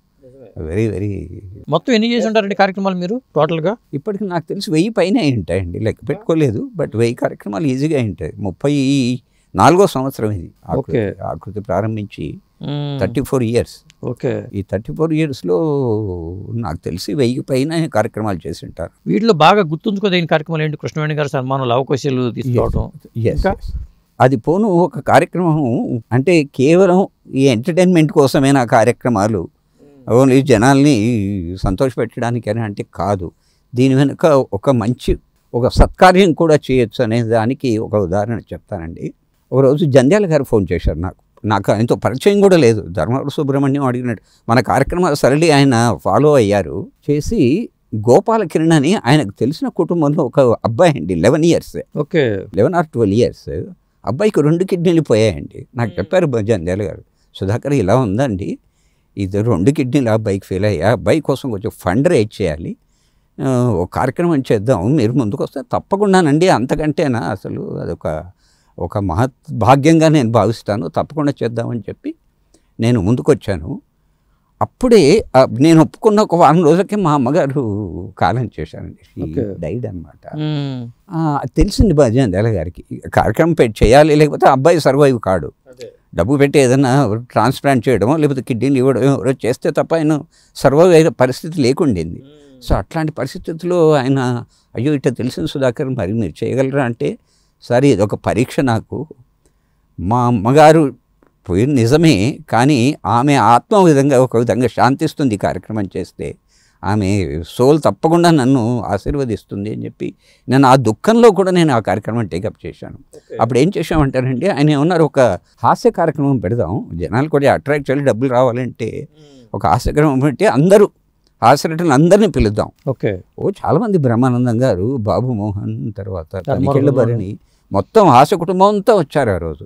ఒక మంచి కార్యక్రమం పెట్టి ఒక హాస్య కార్యక్రమం పెట్టి టికెట్ పెట్టాం టికెట్ షో పెట్టాం. హరిహర కళాభవన్లో టికెట్ షో పెట్టాం అనమాట అప్పుడు ఆయన దీనికి ఏదైనా ఒక టైటిల్ పెట్టాలని చెప్పి జంధ్యాల గారు ఏదైతే ఏది పెడితే బాగుంటుంది? నిండుగా నవ్వండి అని పెడదాం అన్నారు అనమాట నిండుగా నవ్వండి. అంటే వచ్చిన వాళ్ళంతా నవ్వాలి. ఈ హెల్ప్ జరగాలి. సరే ఇంకొకటి జోడిస్తాను నేను అన్నాను. నిండుగా నవ్వండి. ఓ నిండు ప్రాణాన్ని కాపాడండి. ఎందుకంటే. చేస్తున్నది ఒక అబ్బాయి ప్రాణాన్ని నిలబెట్టడానికి చేస్తున్న కార్యక్రమం కాబట్టి నిండుగా నవ్వండి ఓ నిండు ప్రాణాన్ని కాపాడండి. అప్పుడు నాకు తెలిసి నేను అనుకోవడం ఒక అప్పటికే అప్పుడే ఒక ఫైవ్ ల్యాక్స్ అలా కలెక్ట్ చేయగలిగామండి. ఇచ్చేసి ఒక కిడ్నీ ఈ ఆర్టిస్టులందరికీ ఏమైనా డబ్బులు ఇచ్చారా? లేదండి లేదు. ఎవ్వరు కూడా ఒక పైసా తీసుకోలేదండి. No no. జంధ్యాల గారి మాట చెప్తే ఎవరు కాదండి. ఎవ్వరు ఎవరు అప్పుడు డబ్బులు లేదండి. ఎవరు డబ్బులు ఇంకా ఇచ్చారు వాళ్ళు. నాకు తెలిసి పదివేలు ఇరవై వేలు బ్రహ్మానంద గారు బామోహన్ గారు డబ్బులు వేసుకున్నారు వాళ్ళు కూడా. అలా అందరూ టికెట్ షోనే కాకుండా వాళ్ళ స్వ- స్వతహాగా వాళ్ళు కూడా డబ్బులు వేసుకొని డొనేట్ చేశారు. అప్పుడు ఈ డబ్బుతో ఒక కిడ్నీ కొని వాళ్ళ తండ్రి గారి వాళ్ళ తండ్రి కూడా ఆర్టిస్ట్ ఆ అబ్బాయి తండ్రి కూడా ఆర్టిస్టే అతను కిడ్నీ ఇచ్చాడు. ఓకే. దాదాపు ట్వంటీ ఇయర్స్ బతికాడు. ఈ మధ్య పోయారు అబ్బాయి పాపం. ఓకే. వాళ్ళ నాన్నగారి పేరు ఏంటండి పేరు గుర్తులేదు. ఆ అబ్బాయి పేరు మటుకు గోపాల్ కిరణ్. గోపాల్ కిరణ్. అబ్బాయి పేరు అబ్బాయి పేరు గుర్తుంది బాగా నాకు గోపాల్ కిరణ్. సో అదొక చాలా సంతృప్తినిచ్చే కార్యక్రమం అండి. అంటే ఒక కార్యక్రమం వల్ల ఒక ప్రాణానికి ఒక ప్రాణం పోయగలం లేదా ప్రాణ ప్రాణాన్ని కాస్త ఎక్స్టెండ్ చేయగలం వాళ్ళ జీవితాన్ని అనేది ఎంత గొప్ప విషయం అసలు.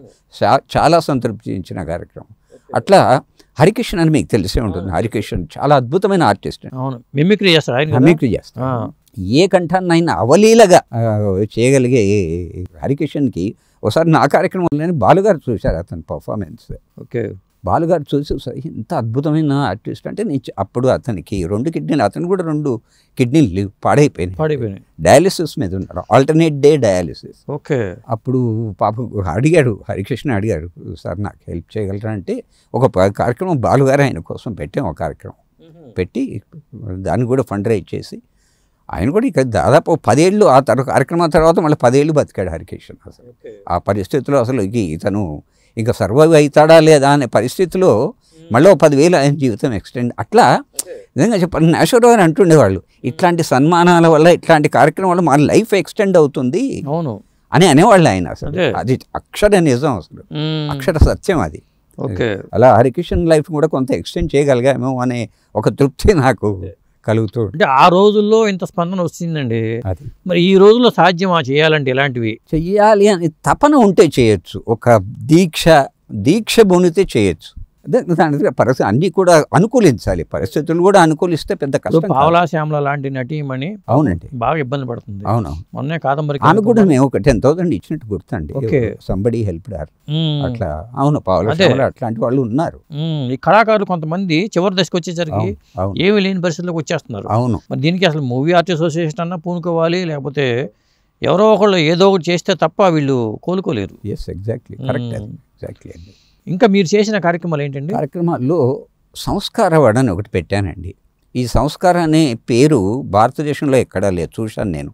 సంస్కారం అనే పేరుతో మీరు ఆస్కారం అంటే ఎలా ధ్వనిస్తుందో అంటే ఆ లెవెల్లో చేస్తామంటే చెప్పడం కష్టం మనం మన వల్ల కాదు అది. కానీ ఒక పేరులో ఒక వైవిధ్యం. సంస్కారం అనే ఒక అవార్డుని పెట్టి ఈ అవార్డు కూడా ఏంటంటేనండి నా మా ఫాదర్ అండ్ మదర్ కూడా గ్రామాధికారులుగా పనిచేశారు. చాలా ఊళ్ళల్లో వాళ్ళ సేవా కార్యక్రమాలు నిర్వహించారనమాట మనం ఎవరెవరి పేరుతోనో అవార్డులు ఇస్తున్నాం.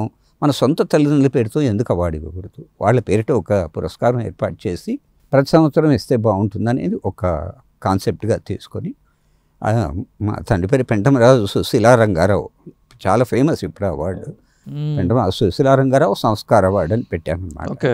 సో దానికి ఏంటంటే ఇది హయ్యెస్ట్ అవార్డుగా చేయాలంటే ఒక నిర్దిష్టమైన ఒక ప్రణాళిక ఉండాలి. నేనేమనుకున్నా అంటే పద్మశ్రీ అండ్ అబో పద్మశ్రీ వచ్చిన ఎవరైనా కానీ ఏ రంగం వాళ్ళైనా పద్మశ్రీ అండ్ అబో పద్మభూషణ్ కానీ పద్మవిభూషణ్ కానీ అట్లాంటి వాళ్ళని తీసుకొని చేద్దామని చెప్పి చాలామంది పద్మశ్రీలకి దాదాపు పదిహేను పద పదహారు సంవత్సరాలు పద్మశ్రీ పద్మభూషణ్ వాళ్ళకి అవార్డు ఇచ్చానండి. నేను నా గురువు గారికి ఎలాగైనా ఇవ్వాలి. నారాయణ రెడ్డి గారు కూడా పద్మభూషణే కదా. అవును. అని చెప్పి ఆయన్ని నేను కొంచెం అప్రోచ్ అయ్యి నేను రిక్వెస్ట్ చేశాను. అదేంటి సుధాకర్ మేము ఇప్పుడు సన్మానాలు చేసేవాళ్ళం. మేము సన్మానం అంటే ఇబ్బంది అవుతుంది. నలుగు ఏమనుకుంటారు? గురువుగారు చూడండి ఇది నా తల్లిదండ్రుల పేరిట చేస్తున్నది. అందులోనూ ఈ పేరెంటింగ్ కల్చర్ ఇప్పుడు పోయింది. తల్లిదండ్రులని ఎక్కడెక్కడో వృద్ధాశ్రమాల్లో పెడుతున్నారు. మ్మ్. అట్లా అంటే నా తల్లిదండ్రులనే కాకుండా నేను యూనివర్సల్ చేస్తాను దీన్ని. ఓకే అంటే ఈ కార్యక్రమం కూడా తల్లిదండ్రులను ప్రేమించే వాళ్ళందరి కోసం అంకితం చేస్తాను. Dedicated to all the parents who love their parents అనేది ఒక కాన్సెప్ట్ ఆయనకి చెప్పాను. "ఆ, ఇదేదో బాగుంది అని చెప్పి ఆయన ఒప్పుకొని గురుగారు మీరు నాగేశ్వరరావు గారు ఇద్దరు కలిసి తీసుకోవాలి. అమ్మో ఇది అయ్యే పని కాదన్నారు. నువ్వే అడుగు నాగేశ్వరరావు గారిని అన్నారు. గురుగారు "నే- నేను అడుగుతాను డెఫినెట్గా "మ్, కాదంటారు. మీరు మీరే దయచేసి మాట్లాడండి అని చెప్పి ఈ కాన్సెప్ట్ ఆయనకి ఎక్స్ప్లెయిన్ చేశాను. అప్పుడు ఆయన ఇట్లా వస్తాడు సుధాకర్ మీ దగ్గరికంటే ఆయన ఏదో చెప్పారు నారాయణ రెడ్డి గారు చెప్పారు. బట్ ఈ పరిస్థితిలో ఇప్పుడు మేము చీఫ్ గెస్ట్గా వెళ్ళి ఎందరో పెద్ద పెద్ద వాళ్ళని సన్మానించినప్పుడు మమ్మల్ని సన్మానించడానికి ఎవరు వస్తారని అడిగారు. అప్పుడు జానారెడ్డి గారు హోమ్ మినిస్టర్. జానారెడ్డి గారు home minister. KR Suresh Reddy గారేమో ఒక స్పీకరు. వాళ్ళిద్దరిని చీఫ్ గెస్ట్గా పెట్టి వీళ్ళిద్దరికి సన్మానం. అది కూడా ఒక అపరూపం అండి. వాళ్ళిద్దరు కలిసి తీసుకోవడం అనేది నాకు తెలిసి వాళ్ళు ఏ సందర్భంలోనూ అట్లా తీసుకున్న దాఖలాలు లేవు. అది ఈ రకంగా ఐఎమ్ బ్లెస్డ్ నిజంగా చెప్పాలంటే. అదొక అద్భుతమైన కార్యక్రమం అట్లా చేశాను ఇప్పటికీ కంటిన్యూ చేస్తున్నారండి ఇది? అవార్డు? చేస్తున్నాను చేస్తున్నాను. Last year two zero twenty టూలో గరికపాటి నరసింహరావు గారు అప్పుడే పద్మశ్రీ వచ్చింది ఆయనకి. గరికపాటి నరసింహరావు గారిని కూడా ఒప్పించి ఆయన ఆయన తీసుకున్నారు. ఏ నెల చేస్తూ ఉంటారు ఇది? జూలై అండి మోస్ట్లీ జూలైలో జూలైలో జూన్ జూలైలో చేస్తాను అప్పుడు వైస్ ప్రెసిడెంట్ వెంకయ్యనాయుడు గారు వచ్చారు ఓకే అది ఇంకా డిసైడ్ చేయాలి. ఇంకా జరుగుతోంది చర్చ జరుగుతోంది దాని మీద. అది పద్మశ్రీ లేదా అంతకంటే హై అనేది ఇంకా ఒక డిస్కషన్లో ఉంది. త్వరలోనే మీకు చెప్తాను. చేస్తాను. ఓకే. ఇప్పుడే అది ప్రకటించకూడదు. ఎందుకంటే పత్రికా ఇప్పుడే ప్రకటించకూడదు తప్పకుండా మీకు చేసినప్పుడు తప్పకుండా మీకే చెప్తాను. ఎందుకంటే ఇవి చేయడం అనేది చాలా ఛాలెంజ్ అండి గెస్టులను ఒప్పించాలి ముందు. తీసుకురావడానికి వీళ్ళతో ఎవరితో చేయించాలి? సమూజీలు ఉండాలి పైగా. ఇది చాలా ఇబ్బందికరం. ఇంకొక వెరైటీ మీకు చెప్పాలి. అంటే నేను కేవలం అంటే ఈ సన్మానాలు సత్కారాలు కేవలం సంగీతానికో సాహిత్యానికో సినిమాకో పరిత పరిమితం చేయకుండా దీన్ని విస్తృతం చేయాలి. ఎందుకంటే అన్ని రంగాల్లో నిష్ణాతులు ఉన్నారు ఇప్పుడు క్రీడారంగం తీసుకోండి.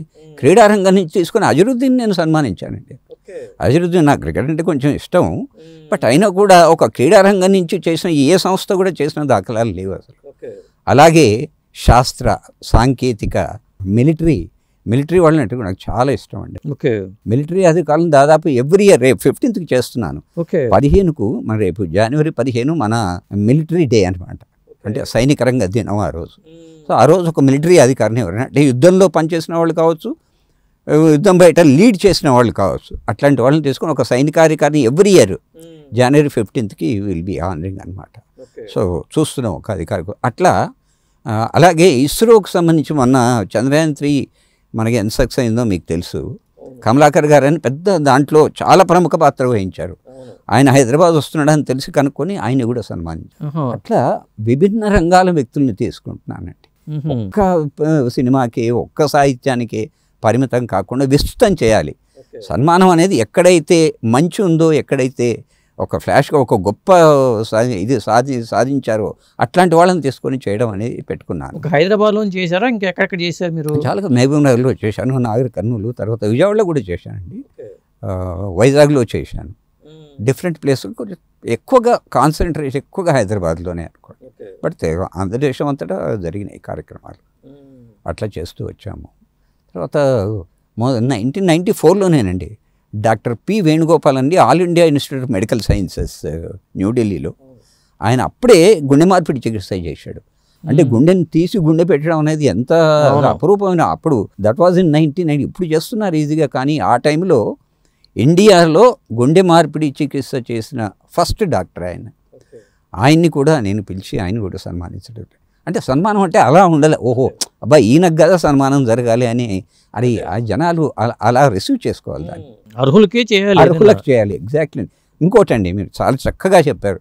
అర్హు అర్హత లేని వారు కానీ ఏదో ఈ- దీనివల్ల మనకు మేలు జరుగుతుందని కానీ ఎప్పుడు సన్మానం చేయలేదండి. నేను టాప్ దాంట్లో ఈ- ఈయన సన్మానానికి అర్హుడా అనేది ఒకటికి పదిసార్లు ఆలోచించి నేను డిసిషన్ తీసుకున్నాను. అర్- అర్హత లేని వాళ్ళు అందరం ఎక్కిస్తే మళ్ళీ మీకు సంస్థకి బ్యాడ్ పేరు వస్తుంది వస్తుంది కదా. అలాగే హెచ్ఎం రెడ్డి వాడు ఒకటి చెప్పాలి మీకు. హెచ్ఎం రెడ్డి గారు మొట్టమొదటి టాకీ నిర్మాత దర్శకుడు మీకు తెలుసు. ఆయన పేరిట కూడా నైన్టీన్ నైన్టీ త్రీలోనే స్టార్ట్ చేశానండి. చాలా అసలు రఘుపతి వెంకయ్య అవార్డు గవర్నమెంట్ అయితే ఏ ఏ లెవెల్లో చేస్తుందో ఆ లెవెల్లో తీసుకొచ్చాను నేను ఆ అవార్డుని. ఫస్ట్ అవార్డు నా అప్పటికి రామానాయుడు గారు అప్పటికి సన్మానాలు ఎప్పుడు తీసుకోలేదు అసలు. అవార్డులు కానీ సన్మానాలు కానీ డి రామానాయుడు గారు ఎప్పుడు అంగీకరించలేదు. అట్లాంటి టైంలో నైన్టీన్ నైన్టీ త్రీలో ఆయన ఒప్పుకోలేదు ఫస్ట్ అసలు. మొత్తం మీద ఏదో ఒక ఆయన కన్విన్స్ చేసి ఈయన పెద్ద మనిషి అండి. ఇప్పుడు రఘుపతి వెంకయ్య పేరుతో ఉంది కానీ హెచ్ఎం రెడ్డి గారు ఆయన మాటలు నేర్పిన మహానుభావుడు సినిమాకి మరి అట్లాంటి మహానుభావుడు పేరుతో చేస్తున్నప్పుడు మీరు అంగీకరించాలి అంటే అప్పుడు రామానాయుడు గారు ఒప్పుకొని అక్కడి నుంచి రామానాయుడు గారు తర్వాత victory మసూరన్ Rao greatest director VB రాయన్ ప్రసాద్ కె విశ్వనాథ్ విజయ్ నిర్మల లేడీస్ కూడా ఇవ్వాలి. లేడీ. దర్శకురాలుగా అవును. విజయ్ నిర్మల నిర్మాతగా అంజలిదేవి ఆ, సంగీతం శ్రీనివాసరావు. ఇట్లా మహానుభావులంతా అసలు. All senior director U Visweswararao గారు. కోదండరామరెడ్డి గారు. ఇట్లా అందరు సీనియర్స్కి అందరికి కూడా హెచ్ఎం రెడ్డి గారి పేరుతో అవార్డు ఇస్తూ వచ్చాను. దే రిసీవ్డ్ వెరీ వెల్ అండి. దే అప్రిషియేటెడ్ ఇప్పుడు ఈ సందర్భంలో వాళ్ళని కలిసి కలిసినప్పుడు మీకు ఎదురైన అనుభవాలు ఏంటండి? ఇప్పుడు అంజలిదేవి గారిని కలిసినప్పుడు కానీ ఇట్లా కొంతమందిని. వారు అంజలిదేవి మళ్ళీ లవకుశకి వెళ్ళాలి. లవకుశలో సీతాదేవి అంటే అంజలిదేవి. చాలా అసలు ఆ రకంగా ఆమె ఆమె అప్పటికే ఒక విషయం చెప్పారు ఆమె అసలు. ఆమె భర్తను ఎంతగా ప్రేమ ఆదినారాయణరావు అంటే ఎంత ప్రేమ అండి ఆమెకు అసలు. అసలు సినిమాల్లో మనం అనుకుంటాం ఏం ప్రేమ ఉంటుంది వీళ్ళకి అంటాను కానీ ఆదినారాయణరావు గారు అంటే ఆమె ఆమె ప్రాణం ఇచ్చేంత ప్రేమ అనమాట ఆయన పుస్తకం ఒకటి ఏదో వచ్చింది. ఆ పుస్తకాన్ని పాఠ్యాంశం పాఠ్యాంశంగా పెట్టాలని చెప్పి ఆమె నన్ను అడిగారు. తెలుగు యూనివర్సిటీ కానీ మరో చోట కానీ కొంత ప్రయత్నం జరిగింది కానీ అది నేను నా వైపు నుంచి సఫలీకృతం కాలేదు. తర్వాత మా కాంటాక్ట్ నేను అసలు లవకుశలను కూడా కలిపినప్పుడు కూడా ఆమెను పిలుద్దాం అనుకున్నాను. ఓకే. కానీ అప్పటికే ఆమెకు అనారోగ్యం ఉండింది. ఓకే. ఇక్కడ ఉన్న వాళ్ళలో కాంతారావు గారు వచ్చారు. ఆ లవకుశ ఫంక్షన్కి కాంతారావు గారు ఆ, రకంగా అట్లా చేస్తూ వచ్చాం. కృష్ణవేణి గారికి మీరు వందో పుట్టినరోజు వేడుక నిర్వహించారు కదా. ఇలాంటి వ్యక్తులు ఇంకెవరన్నా మీకు తారసపడ్డారా? ఇప్పటివరకు మీరు అంటే కృష్ణవేణి గారు హండ్రెడ్ ఇయర్స్ ఒక మైల్ స్టోన్ అది ఒక ఫోర్ ఫైవ్ ఇయర్స్ క్రితం అనుకుంటానండి. హండ్రెడ్ దాటిన వాళ్ళని కూడా ఒక ముగ్గురు నలుగురు సత్ హండ్రెడ్ ఎవరు దాటిన వాళ్ళు? హండ్రెడ్ దాటి కూడా తమ పనులు తాము స్వతహాగా చేసుకుంటున్న వాళ్ళు. ఓకే. నడిచి స్టేజ్ మీదకి రాగలిగే వాళ్ళు.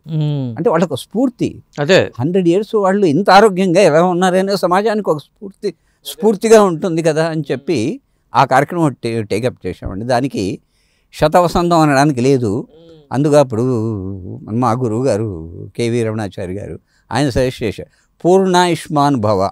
ఓకే. ఆ టైటిల్ ఆ కార్యక్రమం. బాగుంది. అంటే ఇక పూర్ణం అంటే ఎంతో తెలియ ఎంతైనా కావచ్చు. పూర్ణాయుష్మాన్ భవ అని పెట్టి ఒక నలుగురు హండ్రెడ్ దాటిన తమ పనులు స్వయంగా చేసుకుంటున్న వాళ్ళు పిలవడం జరిగింది. అందులో కూడా ప్రముఖమైన వాళ్ళు కూడా ప్రముఖమైన వ్యక్తులే. నిరంజన్ రెడ్డి గారు మంత్రి గారు అప్పుడు వారి తల్లి గారు తారకమ్మ వారి ఆమె hundred and one. K Raghava గారు ప్రొడ్యూసరు. హండ్రెడ్ అండ్ టూ అప్పటికి. అలాగే గిరిబాబు గారి తండ్రి హండ్రెడ్ అండ్ ఫైవ్. ఆయన ఎంత ఆరోగ్యం నేను వెళ్ళి కలిస్తే వాళ్ళని నాకే ఆశ్చర్యం అనిపించింది అసలు హండ్రెడ్ అండ్ ఫైవ్. అలాగే చింతమడక సీఎం గారి ఊరు చింతమడకలో ఒక ఆమెను తీసుకున్నాం. ఈ నలుగురిని తీసుకొని స్టేజ్ మీదకి వాళ్ళని ఆహ్వానించినప్పుడు కూడా వాళ్ళే నడుచుకుంటూ వచ్చారు స్టేజ్ మీదకి. అదొక అద్భుతమైన ప్రక్రియ అని. అంటే వంద సంవత్సరాలు కూడా ఆరోగ్యంగా ఉండొచ్చు అని జనాలకి చెప్పడానికి చేసిన ప్రయత్నం. సో ఆ రకంగా ఆ కార్యక్రమం మంచి ఆలోచన అది. చాలా వైవిధ్యం వైశిష్టం అనేది ఇక్కడ కనిపిస్తుంది. కనిపిస్తుంది. ఎందుకంటే వంద సంవత్సరాలు దాటిన వాళ్ళు ఎలా ఎలా జీవిస్తున్నారు? మనం ఎందుకు వాళ్ళ నుంచి స్ఫూర్తి పొందకూడదు అనేది ఇంతకీ మీ వయసు ఎంత అండి సెవెంటీ త్రీ డెబ్బై మూడు. డెబ్బై మూడు కూడా మీరు కూడా మంచి యాక్టివ్గా ఉన్నారు అసలు పొట్టలేదు సన్నగా నాజుగ్గా ఉన్నారు. ఆ రహస్యం ఏంటి? రహస్యం ఓన్లీ ఎప్పుడు ఆనందంగా ఉండడం అండి. ఆనందంగా ఉండడానికి మించింది ఆలోచన లేకుండా ఆనందంగా ఉండాలి. కానీ ఆలోచనలు అన్నిసార్లు స్టాప్ చేయడం కష్టం బట్ ఎనీవే ఏది చేసినా కూడా ఒక ప్రతిదీ అంతేనండి. ఎక్కడనైనా ఒక్కడన్నా వైవిధ్యం చూపించాలి. ఒక వెరైటీ ప్రేక్షకులకు కావాలి. రొటీన్ సన్మానాలు షాలు కప్పడం దండ వేయడం moment this are all routine things everything అందులో నేను చేసే దాంట్లో కూడా అది ఉంటుంది. కానీ ఒక ఒక వైవిధ్యాన్ని జోడిస్తాను దానికి. ఆ వైవిధ్యాన్ని జోడించి చేయడంలోనే ఆకృతికి ఇంకోటి అండి ఉన్న ఊరు కన్నతల్లి అంటారు. మరి మీ ఊరికి మీరేమైనా చేశారా? చాలా కరెక్ట్ చాలా మంచి ప్రశ్న అడిగారు. ప్రశ్న మీరు అడుగుతారా లేదా అనుకున్నారు. చాలా మంచి ప్రశ్న వేశారు సుందర్ గారు. మాది నాగర్ కర్నూలు జిల్లా శ్రీపురం అని ఇంతకుముందు చెప్పారు. శ్రీపురం అని గ్రామం. అది పెద్ద డెవలప్డ్ గ్రామం కాదు పర్వాలేదు మంచి గ్రామం. అక్కడ మంచి టెంపుల్ కూడా ఉంది. రంగనాయక స్వామి టెంపుల్ ఉందండి. చాలా టెంపుల్ ప్లేస్ అది. అక్కడ నేను ఉండే ప్లేస్ అంటే మేము మా తండ్రులు తాతలు ఉన్న పాడు పాత ఇల్లే. అని దాన్ని కొంచెం రెనోవేట్ చేసి నేను లైబ్రరీ చేశానండి. దాన్ని డొనేట్ చేశాం. రెండు వందల డెబ్బై ఐదు గజాల ప్లేస్లో ఒక స్ట్రక్చర్ ఒక మంచి స్ట్రక్చర్ కూడా కట్టించి దాన్ని లైబ్రరీగా కన్వర్ట్ చేశాం. ఇప్పుడు లైబ్రరీ రన్ అవుతోంది. ఓకే. కొన్ని కారణాల వల్ల లైబ్రరీ కొంచెం వెనకబడ్డాయి లైబ్రరీలు కాబట్టి దాన్ని ఇప్పుడు వేరే ఇంకేదైనా పర్పస్ ఒక మంచి హెల్త్ సెంటర్ చేయాలన్న ఆలోచన ఉంది. But it is already donated to the government donate చేసాం అట్లాగే నేను చిన్నప్పుడు చదువుకున్న ఐదో క్లాస్ వరకు చదువుకున్న నా ఊళ్ళో ఒక మెరిట్ స్టూడెంట్కి అంటే టెన్త్ క్లాస్లో ఒక మెరిట్ స్టూడెంట్ని తీసుకొని ఎవ్రీ ఇయర్ ఒక ఫైవ్ థౌజండ్ ఒక స్కాలర్షిప్ ఇస్తాను నేను. నేను స్వయంగా వెళ్తాను. రేపు twenty six January every twenty six January జెండా వందనం ఇదంతా ఉంటుంది కాబట్టి ఊళ్ళో వాళ్ళందరూ కూడా వస్తారు ఆ రోజు. కాబట్టి అందరి సమక్షంలో ఈ స్కాలర్షిప్ దాదాపు నేను ట్వంటీ ఫైవ్ ఇయర్స్ నుంచి అండి every year I'm doing it. And it will continue after my demise also నేను వెళ్ళిన అవార్డు ఉంటుంది. మా పిల్లలు ఇస్తారు. సొంత ఊరికి కన్న ఊరికి ఏదో ఒకటి చేయాలి. నేను చదువుకున్న ఊళ్ళో ఎవరినో నేను కూడా ఒక మంచి ఎదుగుదల చూడాలి అనే ఒక ఎందుకంటే హైదరాబాద్ ఇంతమంది ఉన్నా కానీ అందరికీ సొంత ఊరు అంటూ ఒకటి ఉంటుంది. ఉంటుంది కదా. మ్మ్. మన ఊరిని మనం మరి- మర్చిపోతే ఎలా? ఎస్ అలా సొంత ఊరిని గుర్తుపెట్టుకు చాలా తక్కువ మంది గుర్తుపెట్టుకుంటారు. బట్ చేసిన వాళ్ళు కూడా ఉన్నారనుకోండి. బట్ ఇది కూడా చాలా సంతృప్తిని ఇచ్చే ఒక మంచి కార్యక్రమం అని అనుకుంటాను ఎవ్రీ ట్వంటీ సిక్స్త్కి నేను ఊరికి వెళ్ళి అవార్డు స్కాలర్షిప్ ఇవ్వడం. మీకు ఎంతమంది పిల్లలండి? నాకు ముగ్గురండి. ఇద్దరు అబ్బాయిలు ఒక అమ్మాయి. ఏం చేస్తున్నారు వాళ్ళు? పెద్ద అబ్బాయి సాఫ్ట్వేర్ ఇంజనీరు అమ్మాయి గృహిణి. అల్లుడు సాఫ్ట్వేర్లోనే ఉన్నారు. ఆయన కూడా కంపెనీ ఆయన ఓన్ కంపెనీ ఉంది. చిన్న అబ్బాయి యూఎస్లో ఉంటాడండి. ఓకే. యూఎస్ అంటే గుర్తొచ్చింది. యూఎస్ కార్యక్రమం కూడా మీకు చెప్పాలి. నేను వెళ్ళినప్పుడు దాదాపు ఫైవ్ మంత్స్ వరకు నా ఐడియల్గా మా మనవడు నాకు వాడితో మంచిగా ఆడుకుంటే చాలా బ్యూటిఫుల్ టైం టైం పాస్ చేశాను. అయితే ఈ కార్యక్రమం చేయను తపన ఒకటి ఎప్పుడు మనం కూర్చుతూ ఉంటుంది. ఏది చెయ్యి చెయ్యి చెయ్యి అని లోపల చెప్తూ ఉంటుంది. సో అట్లా ఏదన్నా కార్యక్రమం చేద్దాం అనుకున్నట్టు అప్పుడే నాగేశ్వరరావు గారి వంద శత జయంతి అప్పుడే నాగేశ్వరరావు గారిది. సో ఏదైనా చేస్తే బాగుంటుందని చెప్పి అక్కడ తోటకూరు ప్రసాద్ గారని అక్కినేని ఫౌండేషన్ ఆఫ్ అమెరికా అని ఒకటి స్థాపించారు. ఓకే. చాలా కార్యక్రమాలు చేశారు ఆయన. సో వారి పేరుతో అక్కినేని గారి పేరుతో తోటకూరు ప్రసాద్ గారికి ఒక అవార్డు ఇవ్వడం జరిగింది. అలాగే హైదరాబాద్లో వాళ్ళు నాకు అంతర్జాతీయ పురస్కారం అని కొంతమంది మన మిత్రులకి ఈ కల్చరల్ మిత్రులకు అందరికీ ఇచ్చారు.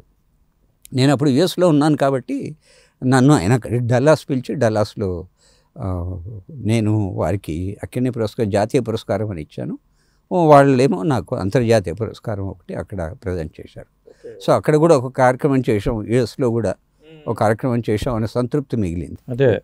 ఆ రకంగా అక్కడ వాళ్ళు ఏమైనా కోఆపరేట్ చేశారా దీనికి? చేశానండి. కోఆపరేట్ చేయడం అంటే నేను ఎవరిని అడగలేదండి అక్కడ. అక్కడ మటుకు ఎందుకంటే అమెరికా ఎవరు వెళ్ళినా కూడా అమెరికా వెళ్తారు ఏదో సంపాదించుకొస్తారు అనే ఒక అపప్రద ఉందండి. అది నాకు మొదటి నుంచి డెఫినెట్గా నేను చేసినా కూడా ఇతను డబ్బులు తీసుకుని చేశాడు అన్న ఒక అపప్రద డెఫినెట్గా వస్తుంది. అయిపోయి నా మా అబ్బాయి అన్నాడు నాన్న ఎవ్వరు అక్కర్లేదు. మనమే చే మనమే చేద్దాం సొంతంగా చేద్దాం ఎవరిని అడగాల్సిన పని లేదని చెప్పి. మావాడే ముందుకు వచ్చి వాడే టేకప్ చేశాడండి. ఓకే. ఇందకరణ్ అని సాఫ్ట్వేర్ ఇంజనీర్ మా కోడలు డాక్టర్ డాక్టర్ వర్ష అని మా కోడలు అనమాట వాళ్ళిద్దరు కలిసి టేకప్ చేసి ఆ, తోటకూర ప్రసాద్ గారికి అక్కినేని జాతీయ పురస్కారం ఓకే. డలాస్ వేదికగా ఇచ్చానమాట ఆ మరు రోజు వాళ్ళు నాకు ఇవ్వాలి ఇక్కడ ఇవ్వాలి రవీంద్ర భారతిలో ఇక్కడ ఇవ్వాలి లేదు అక్కడ నాకు డలాస్లో ఇచ్చారనమాట అట్లా రెండు కార్యక్రమాలు కూడా అక్కడ చేసిన ఒక సంతృప్తి నాకు కలిగింది అదే. మీరు ఇంత యాక్టివ్గా ఉండడానికి కొంత ఈ కార్యక్రమాలు కూడా చాలా కారణం అండి వంద శాతం. అదే. అందులో నిస్సందేహం అండి. అసలు ఒకవేళ ఈ కార్యక్రమాలు చేయకుండా ఉంటే ఇంకా ఇప్పుడు రిటైర్ అయిపోయిన తర్వాత ఇక మన పని అయిపోయింది అనుకుని ఇంట్లో కూర్చుని అవును. అలా క్షీణించిపోతూ ఉంటారు చాలా పోతుంది ఎగ్జాక్ట్. యాక్టివ్నెస్ ఉండదు. ఉండదు. కానీ ఒక ఒక ఒక వరం అండి దేవుడిచ్చిన వరం ఇది ఆకృతి అనేది. మీరు అన్నట్టుగా యాక్టివ్గా ఉండాలంటే ఏదో ఒకటి చేయాలి. ఏదో ఒకటి చేయాలి. ఏదో ఒకటి ఒక కాకుండా ఒక మంచి పని చేయాలి. ఒక సంస్థను. మీ ఆకృతి మాత్రం అట్లాగే ఉంది. సన్నగా యాక్టివ్గా. సో నేను కూడా ఈ ఆకృతిని మెయింటైన్ చేస్తున్నాను. చాలా చాలా ఉపయోగపడిందండి ఆకృతి. హెల్త్ పరంగా కూడా డెఫినెట్గా యాక్టివ్ ఉండడానికి. ఒక మంచి పని చేయండి. యాక్టివ్ ఉండడం పక్కన పెడితే ఒక మంచి పని చేయాలి మంచి కార్యక్రమం చేయాలి మంచి పేరు తెచ్చుకోవాలి. పేరు ముఖ్యం. చేయడం చేయడం ఏదైనా చేయొచ్చు. కానీ ఇట్లాంటి వీళ్ళందరితో మాట్లాడటం అనే సెలబ్రిటీలు కదా అందరూ వాళ్ళ దగ్గరికి వెళ్ళడానికి ఇబ్బంది అవుతుంది ఒకసారి వాళ్ళ అపాయింట్మెంట్ దొరకవు దానికి ఇప్పుడు ఎట్లా మీరు? ఉత్తరం. నా లెటరే అండి చాలా చాలా కార్యక్రమాలు మందికి ఉపయోగపడుతుంది ఉత్తరం అనేది? మీరు చూడండి మీరు ఫోన్ చేస్తే ఆ- ఆ రెస్పాన్స్ వేరే ఉంటుంది. కొన్ని ఒక- మంచి నేను ఉత్తరాలు రాయడంలో చాలా ఎక్స్పర్ట్ ఉత్తరాలు పోయినాయి కదా ఈ రోజుల్లో. లేదు అని ఇప్పుడు అన్ని మెయిల్స్ వచ్చాయి కదా. ఈమెయిల్ లేదు వాట్సాప్లో పంపిస్తాం. మంచి బ్యూటిఫుల్ లెటర్ తయారు నా లెటర్ హెడ్ మీద తయారు చేస్తాను. ఈ కార్యక్రమం ఇది. నేను ఏం చేయాలనుకుంటున్నాను ఎందుకు చేయాలనుకుంటున్నాను ఇంకోటి సుందర్ గారు ఏదన్నా ఒక అవార్డు ఇచ్చినప్పుడు కానీ ఒక సత్కారం చేసినప్పుడు కానీ ఇప్పుడు ఒక ఒక పద్ధతిగా పెట్టుకున్నాను నేను. నేను ఇప్పుడు మనం నాటకాలు వేసినప్పుడు నాంది ప్రస్తావన ఉంటుంది. అంటే ఏ నాటకం వేసినా ఒక నాంది చెప్తాం ప్రస్తావన చెప్తాం. ఇప్పుడు కార్యక్రమాలు కూడా నేను ఇది ఇది ఖచ్చితంగా నేను చెప్పాలి మీకు. కార్యక్రమానికంటే ముందు నేను ఏదో నా హిస్టరీ అంతా చెప్పడం నేను చేసిన కార్యక్రమంలో వల్ల వేయనండి. ఒక కార్యక్రమం చేస్తున్నాను. ఒక అవార్డు ఇస్తు సంస్కార అవార్డు ఇస్తున్నాను ఒకరికి గరికపాటి గారికి ఇస్తున్నాను. ఎందుకు నేను ఈ అవార్డు గరికపాటి గారికి ఇస్తున్నాను అనేది నేను జస్టిఫై చేసుకుంటాను. ఓకే. ఈ అవార్డును వీరికే ఎందుకు ఇవ్వాలనేది ఒక ఒక రైటప్ ఇస్తాను. ఒక నాంది ఈ ప్రస్తావన రూపంలో ఒక చిన్న రైటప్ని నేనే ప్రజెంట్ చేస్తాను. ఈ కారణాల వల్ల నేను ఈ అవార్డుని వీరికి ఇస్తున్నాను. అది ప్రతి అవార్డు అది ఏ అవార్డు అయినా కానివ్వండి హెచ్ఎం రెడ్డి అవార్డు అయినా కూడా ఫలాని వ్యక్తికి ఇచ్చినప్పుడు ఆ వ్యక్తిలోని ఏ గుణాల వల్ల నేను ఈ అవార్డు వారికి ఇస్తున్నాను. లేదు వారు వారు ఏ సాధించారు ఏ సాధించిన విషయాలని చెప్తూ జస్టిఫై చేస్తూ అవార్డు ప్రజెంట్ గరికపాటి గారికి ఎందుకు ఇచ్చారు? ఒకసారి చెప్పండి మాకు. ప్రవచనం అనేది అంటే నిజంగా చాలా మంచి ప్రశ్న వేశారు. ఇంకోటి ఇంకోటి కూడా మనసులో అది ఇప్పుడు ప్రస్తావిస్తాను ఇప్పుడు. అది చెప్పాలి మీకు. ప్రవచనం అనేది ఇప్పుడు ఇప్పుడు మనిషిని మార్చగలిగింది మాట ఒక్కటేనండి. ఈ చెప్పే విధానంలో కూడా మీకు గరికపాటి గారి గురించి కానీ చాగంటి వారు వీరంతా కూడా మహానుభావులు.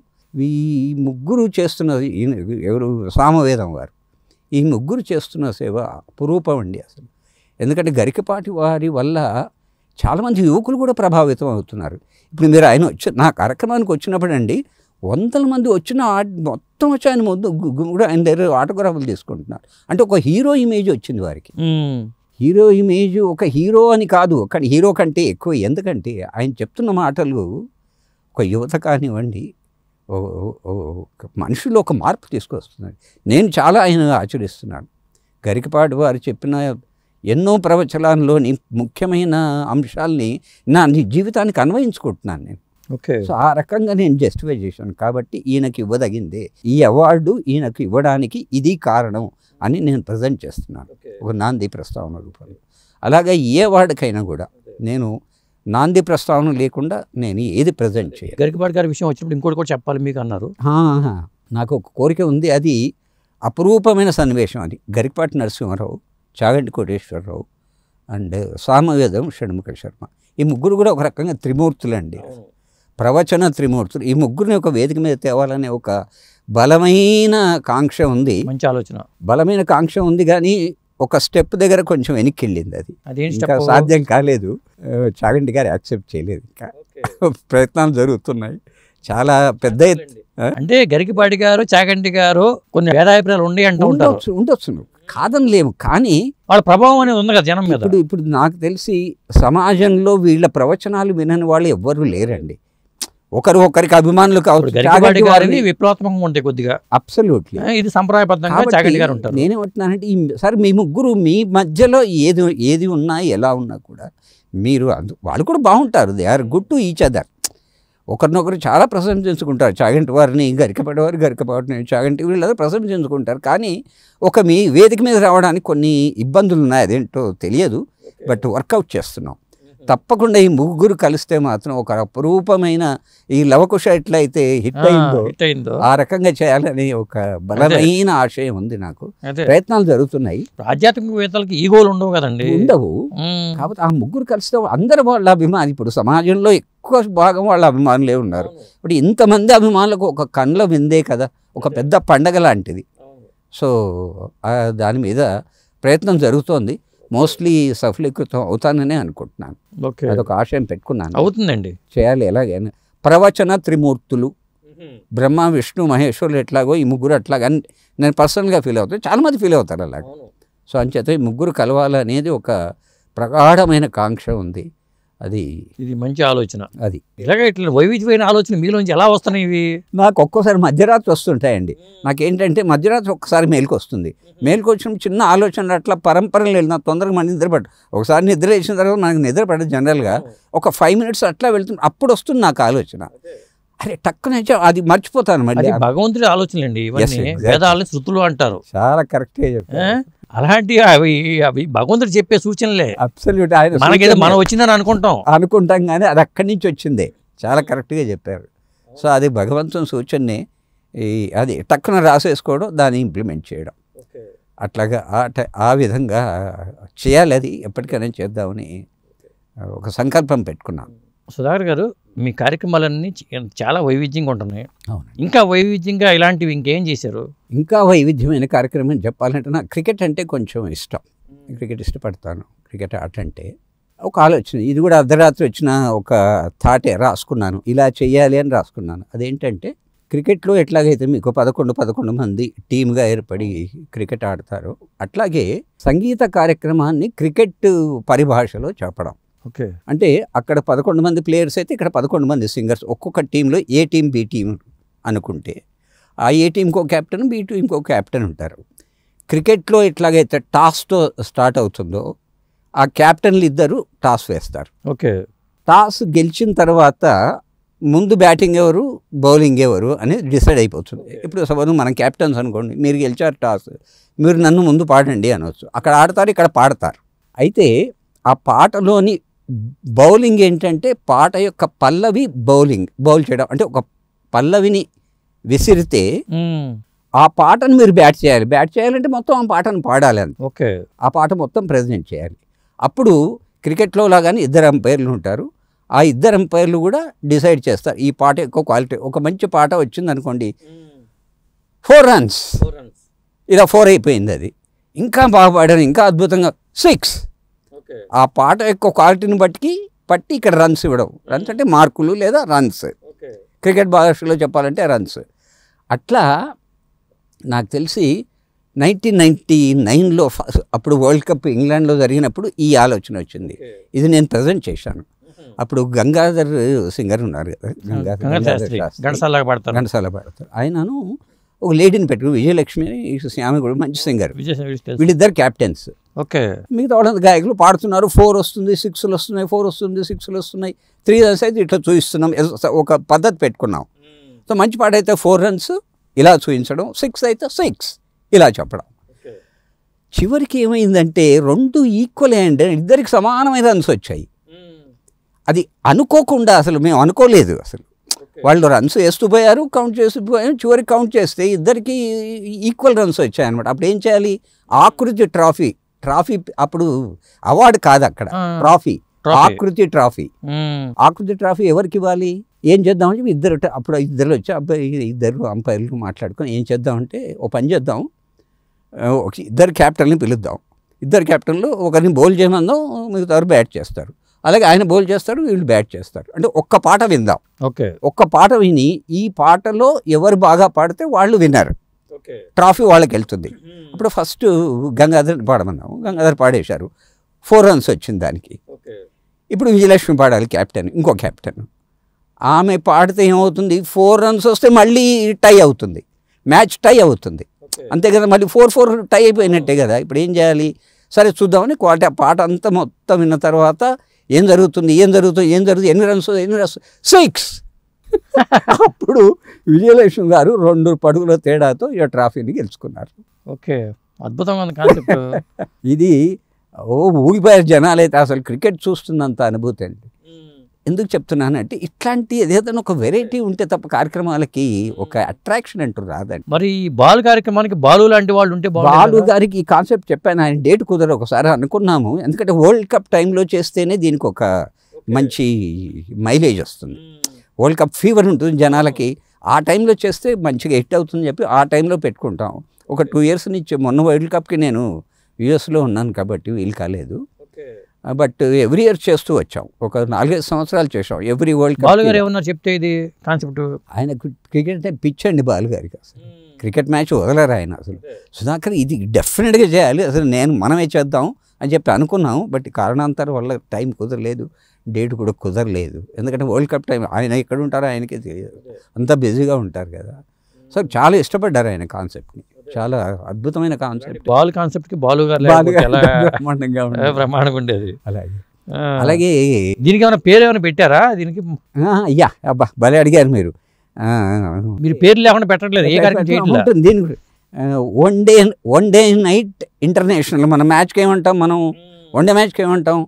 One day international one day international అంటాం.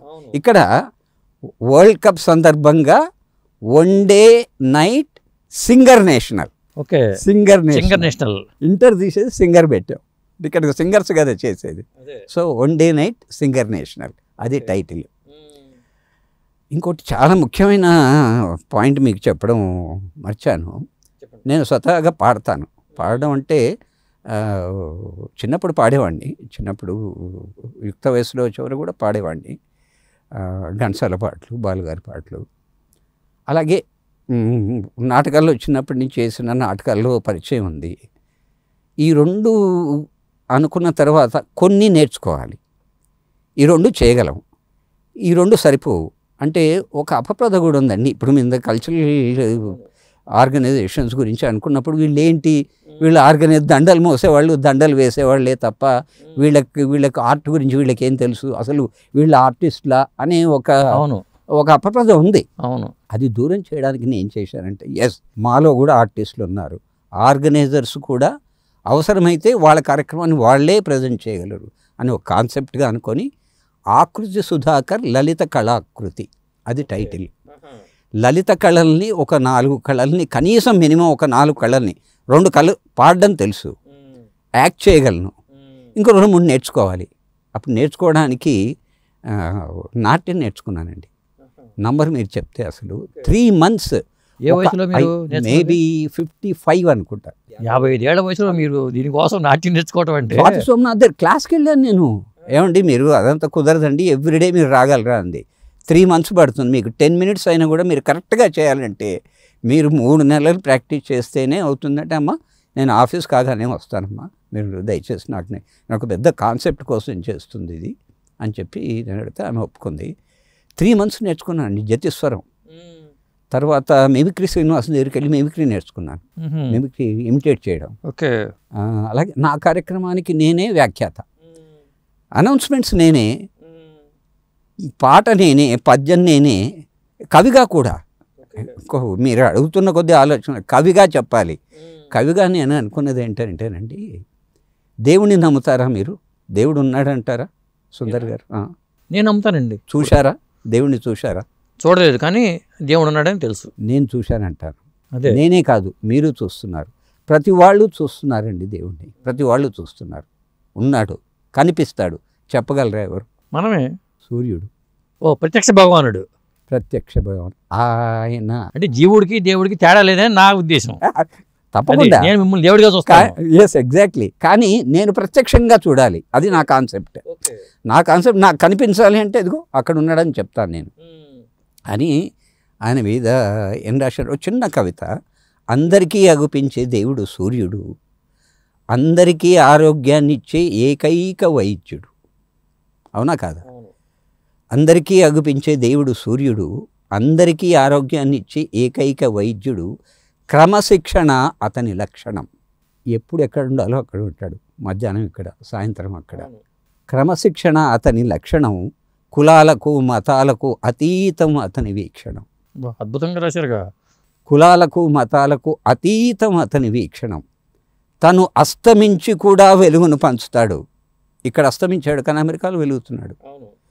తను అస్తమించి కూడా వెలుగును పంచుతాడు. తనను తాను కాల్చుకొని కాంతిని నింపుతాడు. అద్భుతంగా రాశారుగా. నాగేశ్వరరావు గారు కూడా చప్పట్లు కొట్టారు దీనికి. నాగేశ్వరరావు గారు చీఫ్ గెస్ట్ మీరు రాయలేదండి. మెయిలో నుంచి ఆయన రాయించాడు. ఆయన రాయించాడు ఎగ్జాక్ట్లీ అది. అది అక్- అక్కడ నిజంగా చెప్పాలంటే అక్కడి నుంచే మంచి ఊపు వచ్చింది కార్యక్రమానికి అయితే నేను లలిత కళాకృతి అని నన్ను నేను కేవలం నాదే కాకుండా ఇప్పుడు నన్ను అంటే ఎవరు చూస్తారు చెప్పిన? గారు పాడతారంటే ఎంతమంది వస్తారు? అప్పుడు నేను బాలుగారి దగ్గరికి వెళ్ళి ఈ కాన్సెప్ట్ చెప్పాను గురుగారు. ఇట్లా నాకు పాటలు తెలుసు నేను పాడతాను. ప్రతి రాత్రి దయచేసి మీరు పాడాలంటే నేను ఒప్పుకున్నారండి అసలు. ఆయన సుధాకర్ నువ్వు పాడావు ఇంతకుముందు పాడేవంటే నువ్వు పాడేవు సార్ ఓకే కాన్సెప్ట్ బాగుంది. తప్పకుండా నేను వస్తానని చెప్పి బాలుగారు వచ్చి బాలుగారితో కలిసి ప్రతి రాత్రి వసంత రాత్రి స్టేజ్ మీద. మీరు పాడారా? ఎస్ ఎగ్జాక్ట్లీ మీకు పంపుతాను వీడియో పంపుతాను నేను. ఓకే. ప్రతి రాత్రి వసంత రాత్రి ఇద్దరం పాడాం. అలాగే నటనకు అప్పుడు శ్రీహరి అప్పుడప్పుడే హీరో అంతకుముందు విలన్ వేసేవాడు. నేను అడిగిన టైంలో ఆయన హీరో వేస్తున్నాడు. ఏదో పోలీసు దీంతో ఒక సినిమా వచ్చింది ఆయన హీరోగా. సింహాచలం ఏదో police officer yes exactly Sudhakar ఇప్పుడే నేను హీరో అవుతున్నా మళ్ళీ నన్ను విలన్ విలన్ ఏంటి అది? అల్లూరు సీతారామరాజు వేషం నేను అల్లూరు సీతారామరాజు ఆయన రూతర్ ఫర్డ్. క్యారెక్టర్స్ నేను ఇప్పుడు హీరో వేస్తున్నాను సుధాకర్ నన్ను మళ్ళీ విలన్ చేస్తామేంటున్నారు గురుగారు. ప్లీజ్ ఇది ఒక కాన్సెప్ట్ బాలుగారు కూడా ఒప్పుకున్నారు. నాట్యం నేర్చుకుంటున్నాను మిమిక్రీ నేర్చుకున్నాను. ఇన్ని కళల్ని నేను ఒక వేదిక మీద నేను ప్రజెంట్ చేసి తీరాలి. ఇదేదో రికార్డు కోసం కాదు ఒక తపన ఒక కసి. దీనికోసం నేను చేయాలి. కాబట్టి దయచేసి మీరు యాక్సెప్ట్ చేయాలంటే ఆయన షూటింగ్ స్పాట్కి వెళ్ళి అక్కడ రిహార్సల్ వేసుకునేవాళ్ళం. పది నిమిషాలే. ఓకే. చిన్న చిన్న బిట్టే. అడుగు చనిపోయే ముందు రూతర్ రూతర్ ఫడ్ దగ్గరికి వచ్చిన సన్నివేశం ఒకటి అనుకొని అది ఇద్దరం ప్రాక్టీస్ చేసి ఆయన రూతర్ ఫడ్ నేను అల్లూరు సీతారామరాజు బాలుగారితో పాట స్వాతి సోమనాథ్తో నృత్యం మిమిక్రీ శ్రీనివాస్ వాళ్ళతో కలిసి మిమిక్రీ. నా కార్యక్రమానికి నేనే కంపేరింగ్.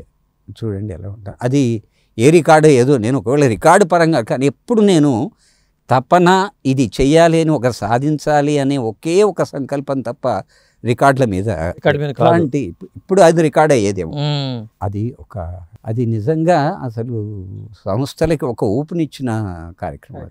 నేను కేవలం నేను ఆర్గనైజరే కాదు. If if time comes I can present. Not only present I can present different awards. అది. అంతా బాగానే ఉంది కానీ ఇలాంటివి చేయాలంటే ముందు ఇంట్లో మన శ్రీమతి గారి అనుమతి ఉండాలి. అది మీకు ఎంతవరకు ఉంది? చాలా అద్భుతమైన ప్రశ్న అద్భుతమైన లేదు అది చే- అది లేకుండా ఏ పని కాదండి. ఐఎమ్ బ్లెస్డ్ అండి నా శ్రీమతి కానీ పిల్లలు కానీ they cooperate hundred percent they help me even చెప్పాను కదా యుఎస్లో మా అబ్బాయి టోటల్ చేశాడు. ఇక్కడ మనం ఎప్పుడు కార్యక్రమం ఉన్నా మా పెద్ద అబ్బాయి నాతో ఉంటాడు. మొన్న మీకు చెప్పడం మర్చాను. వాళ్ళంతా అంటున్నారు కృష్ణవేణి గారి ఫ్యామిలీ అంతా అంటున్నారు. ఏమండి మీ ఫ్యామిలీ అంతా ఇక్కడే ఉంది మా అల్లుడు everybody help on that day. Okay. Krishnaveni గారి ఫంక్షన్కి అవును. మేమంతా మా ఫ్యామిలీ అంతా కార్యకర్తలే అక్కడ అసలు. ఆ రకంగా సుందర్ గారు ఐఎమ్ బ్లెస్డ్ అండి. చాలా బ్లెస్డ్. మంచి వైఫ్ మంచి పిల్లలు. కాబట్టి ఇంత యాక్టివ్గా యాక్టివ్గా మనం. చేయగలుగుతున్నాం. సుధార్ గారు ఇందాక మీరు ప్రత్యక్ష భగవంతుడిగా సూర్యుని చెప్పారు. అసలు భగవంతుడు అంటే ఏంటి? మీరు ఏం ఏం చేస్తారు? పూజ పునస్కారాలు లాంటివి చేస్తూ ఉంటారా? తప్పకుండానండి. నేను ఒక ఇరవై నిమిషాలు రోజు పూజ చేస్తాను. పూజ తర్వాత ఒక అరగంట ఉదయం అరగంట సాయంత్రం. ఆ టైం మనది కాదు అనుకుంటేనండి గరికపాటు వారు చెప్పింది. భగవన్నామ స్మరణ మీ ఇష్టదైవం ఎవరైనా కావచ్చు. రాముడు కావచ్చు కృష్ణుడు కావచ్చు అల్లా కావచ్చు జీసస్ కావచ్చు ఎవరైనా సరే. మీరు నమ్ముకున్న దేవుని నామస్మరణ చేయగలిగితే అంతకు మించిన శక్తివంతమైన సాధన ఒకటి. ఒక పూజ ఉందండి.